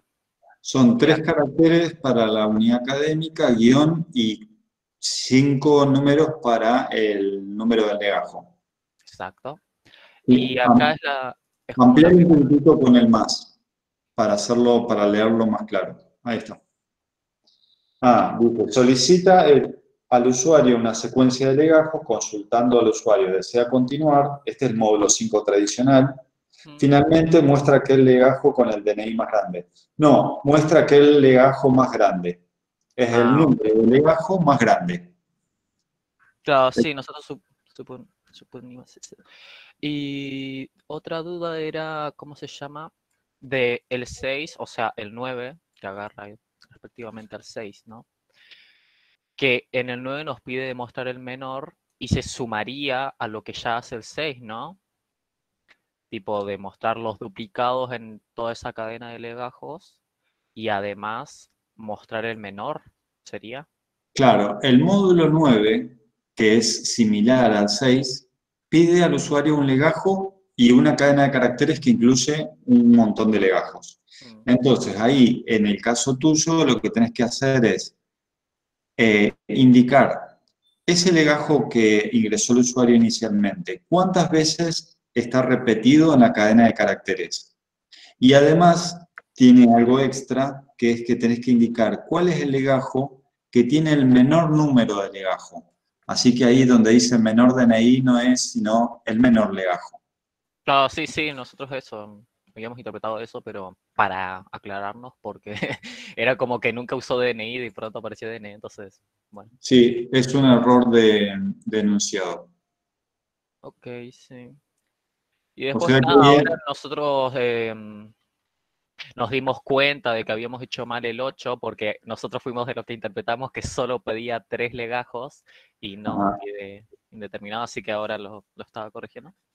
Y, y después de nada, de lo de teníamos dudas de esto de cómo repartirnos los ejercicios y eso, pero antes lo aclaró, así que creo que quedó bastante bien. bueno. Siento que eso es. Gracias. Bueno.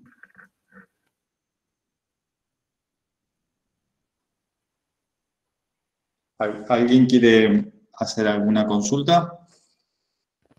Ah, perdón, otra cosa. Sí. Eh, a nosotros en el programa principal, vio que hay unos módulos que eh, piden que ingrese un string y otros que simplemente piden en el mismo módulo que... Eh, ay, perdón, expresé mal que hay unos módulos que nos piden que el string reciba, se reciba como parámetro, ¿no? Sí. Nosotros eso lo interpretamos como que en el programa principal nosotros tenemos que pedir ese string, o sea, ese legajo, y mandárselo como parámetro. Eso todo claro. Hay veces que queda el programa principal un poco extenso y, y claro, ahí no sabíamos bien si, imagínense, nosotros hicimos un switch en el principal, ahí se lo muestro. Eh, y es como... Ay. Sure. Esto. Lo, avísame cuando lo vea. Tipo, hay unos que son muy sencillos, como el 1 y el 2, pero ya en el 3 empieza a ser más largo y no sabíamos si era una dificultad o algo así, porque tampoco era que veíamos una, una forma sencilla de, de achicarlo, ¿no? bueno, a ver, el 3. Veamos este mismo 3. A ver si... Contame, no, no logro ver porque habría que aumentar el tamaño de la letra, pero contame ese case para el 3. ¿Qué es lo que hace? Este case lo que hace es recibir dos legajos en el programa principal y después se los manda como, como parámetros a, nuestro módulo 3 como tal, que es el que te dice si cuál es el mayor de esos dos legajos. O sea, el mayor es el módulo 3. El módulo 3 tiene que hacer la comparación de si un legajo es mayor que otro. Exacto. Y para esto vos, antes de invocar a es mayor, está chequeando de que cada uno de los legajos sea un legajo correcto. Exacto, yo lo pido, lo pido, lo valido, y si lo valido ahí muestro si está validado, y si no, ¿por qué no? Acá es medio enrevesado, pero eh, si alguno de los dos tiene un error, eh, lo, lo, saca, tipo, no le pide otra vez, sino que directamente dice volver a ejecutar. O sea, vuelve a mostrar el menú. Exacto termina el 3 sin hacer su cometido, ya que uno de los dos legajos está mal, y el concepto sería volver a ejecutarlo. Eso no sé si... Bueno, a ver, lo que no me convence mucho es el break adentro del if. Ok. Eso no, no, me parece adecuado porque tiene que haber un único break en cada uno de los cases y es una instrucción que se escribe al final de cada case. Mm, más de un break, no. Es decir, los breaks sirven para interrumpir la, la, el flujo de, de ejecución. Así que traten de buscar alguna otra solución que no sea meter un break dentro del if. Claro, sería así, creo yo. Si el error se activa, eh, ¿cómo se llama? Sale el error y va directamente al break. Y si no se activa el error, va a ser el cometido. El, es mayor. Va a decir si el primer legajo es mayor que el segundo. Bueno, habría que chequearlo. Viste, yo ahora eh, en particular eh, no lo leo correctamente, pero mm, habría que verificar, viste. Sí, sí, sí. Verificar en detalle. No lo veo tan largo, es decir, vos lo único que te estás agregando acá. Claro, eso era, eso era nuestra única, o sea, nuestra mayor dificultad era como qué hacer como para que esto se achica aún más y no sabíamos si, yo qué sé, imagínese, todo esto es lo que se repite, ¿no? La estructura general. Bueno, a ver, sí. A ver, primero, eh, está bueno, porque en realidad ahí hay dos partes que son iguales, que se podrían modularizar. Fíjate que hay una estructura similar. Hay un if-else al principio y abajo hay una if-else igual, que dice uno, if validez systemout.println, el legajo es válido. Lo mismo dice abajo. Else, y lo único que se diferencia uno de otro es que uno es legajo 1 y el otro es legajo 2. Exacto.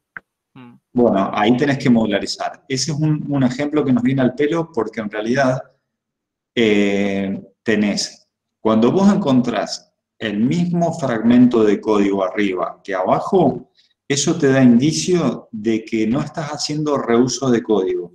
El reuso de código seguramente le habrán hablado en otra materia, ¿sí? Bueno, y también le hemos hablado en esta. Sí, que, hay que evitar duplicar código y todo lo que está repetido hay que tratar de llevarlo a un módulo como sacando factor común de lo que se repite. Ah, ok. Sí, ahora, sí, ahora que me dice, se me ocurre, se me ocurre. O sea, todo esto modularizarlo y le envío el legajo. claro, claro. Y lo llamás dos veces, legajo, Claro, y la validez. Sí. claro. Y si ese módulo te retorna true en el caso de que sea verdadero, lo invocás dos veces a ese módulo. Uno con el legajo 1 y otro con el legajo 2, que son los que tenés que comparar. Exacto, sí. Sí, bueno, después Bueno. hay otros. eh, Este, este mismo ejemplo que está mostrando el compañero, ténganlo presente. Cada vez que ustedes hace- buscan una solución, si ustedes identifican fragmentos de código que están duplicados y que tienen una pequeña variación, traten de factorizarlo en un módulo e invocar al módulo tantas veces como lo necesiten, pero eviten eh, duplicar así como este caso, estos fragmentos de código que muestra eh, Nahuel, más allá de que, de, o sea, estamos para eso, estamos para, para darnos cuenta de que ese puede ser un error que esté cometiendo la gran mayoría. No, no volver a leer el mismo código que uno escribió para revisar si es posible factorizar el código y crear módulos. Correcto. Sí, después este también era bastante largo, pero, pero eso, yo iremos igual, vamos ahí con mi compañera, vamos, vando- vamos reviendo las cosas y, y haciéndolo, así que eso era, gracias. Bueno,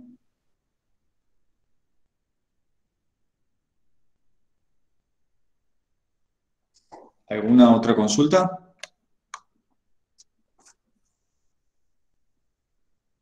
Eh, a ver, eh, de los que están acá presentes, que son 19, eh, conteste uno, uno solo de cada grupo. ¿en cuántos módulos desarrollaron ya del trabajo? Supónganse hasta el número 6, o pongan hasta el número 8, hasta el número 9, o todo. Escríbanlo en el chat.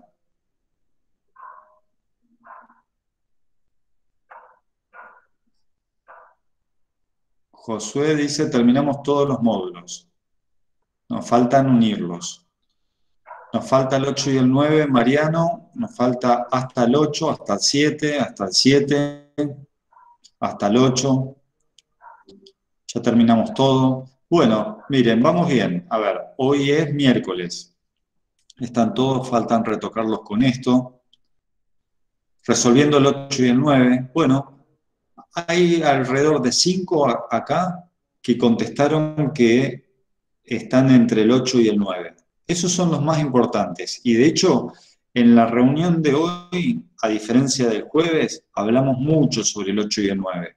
La reunión de hoy les va a servir fundamentalmente para prestar atención acerca de la modularización del 8 y el 9, ¿sí?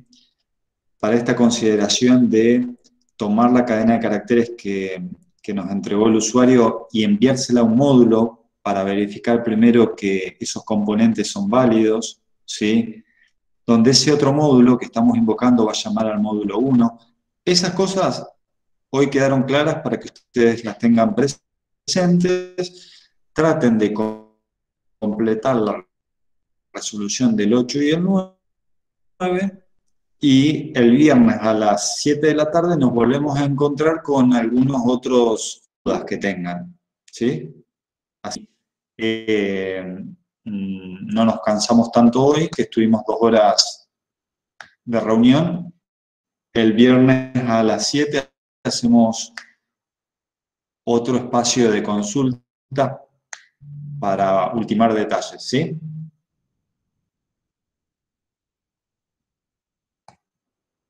Sí, profe. Profe, le hago una consulta.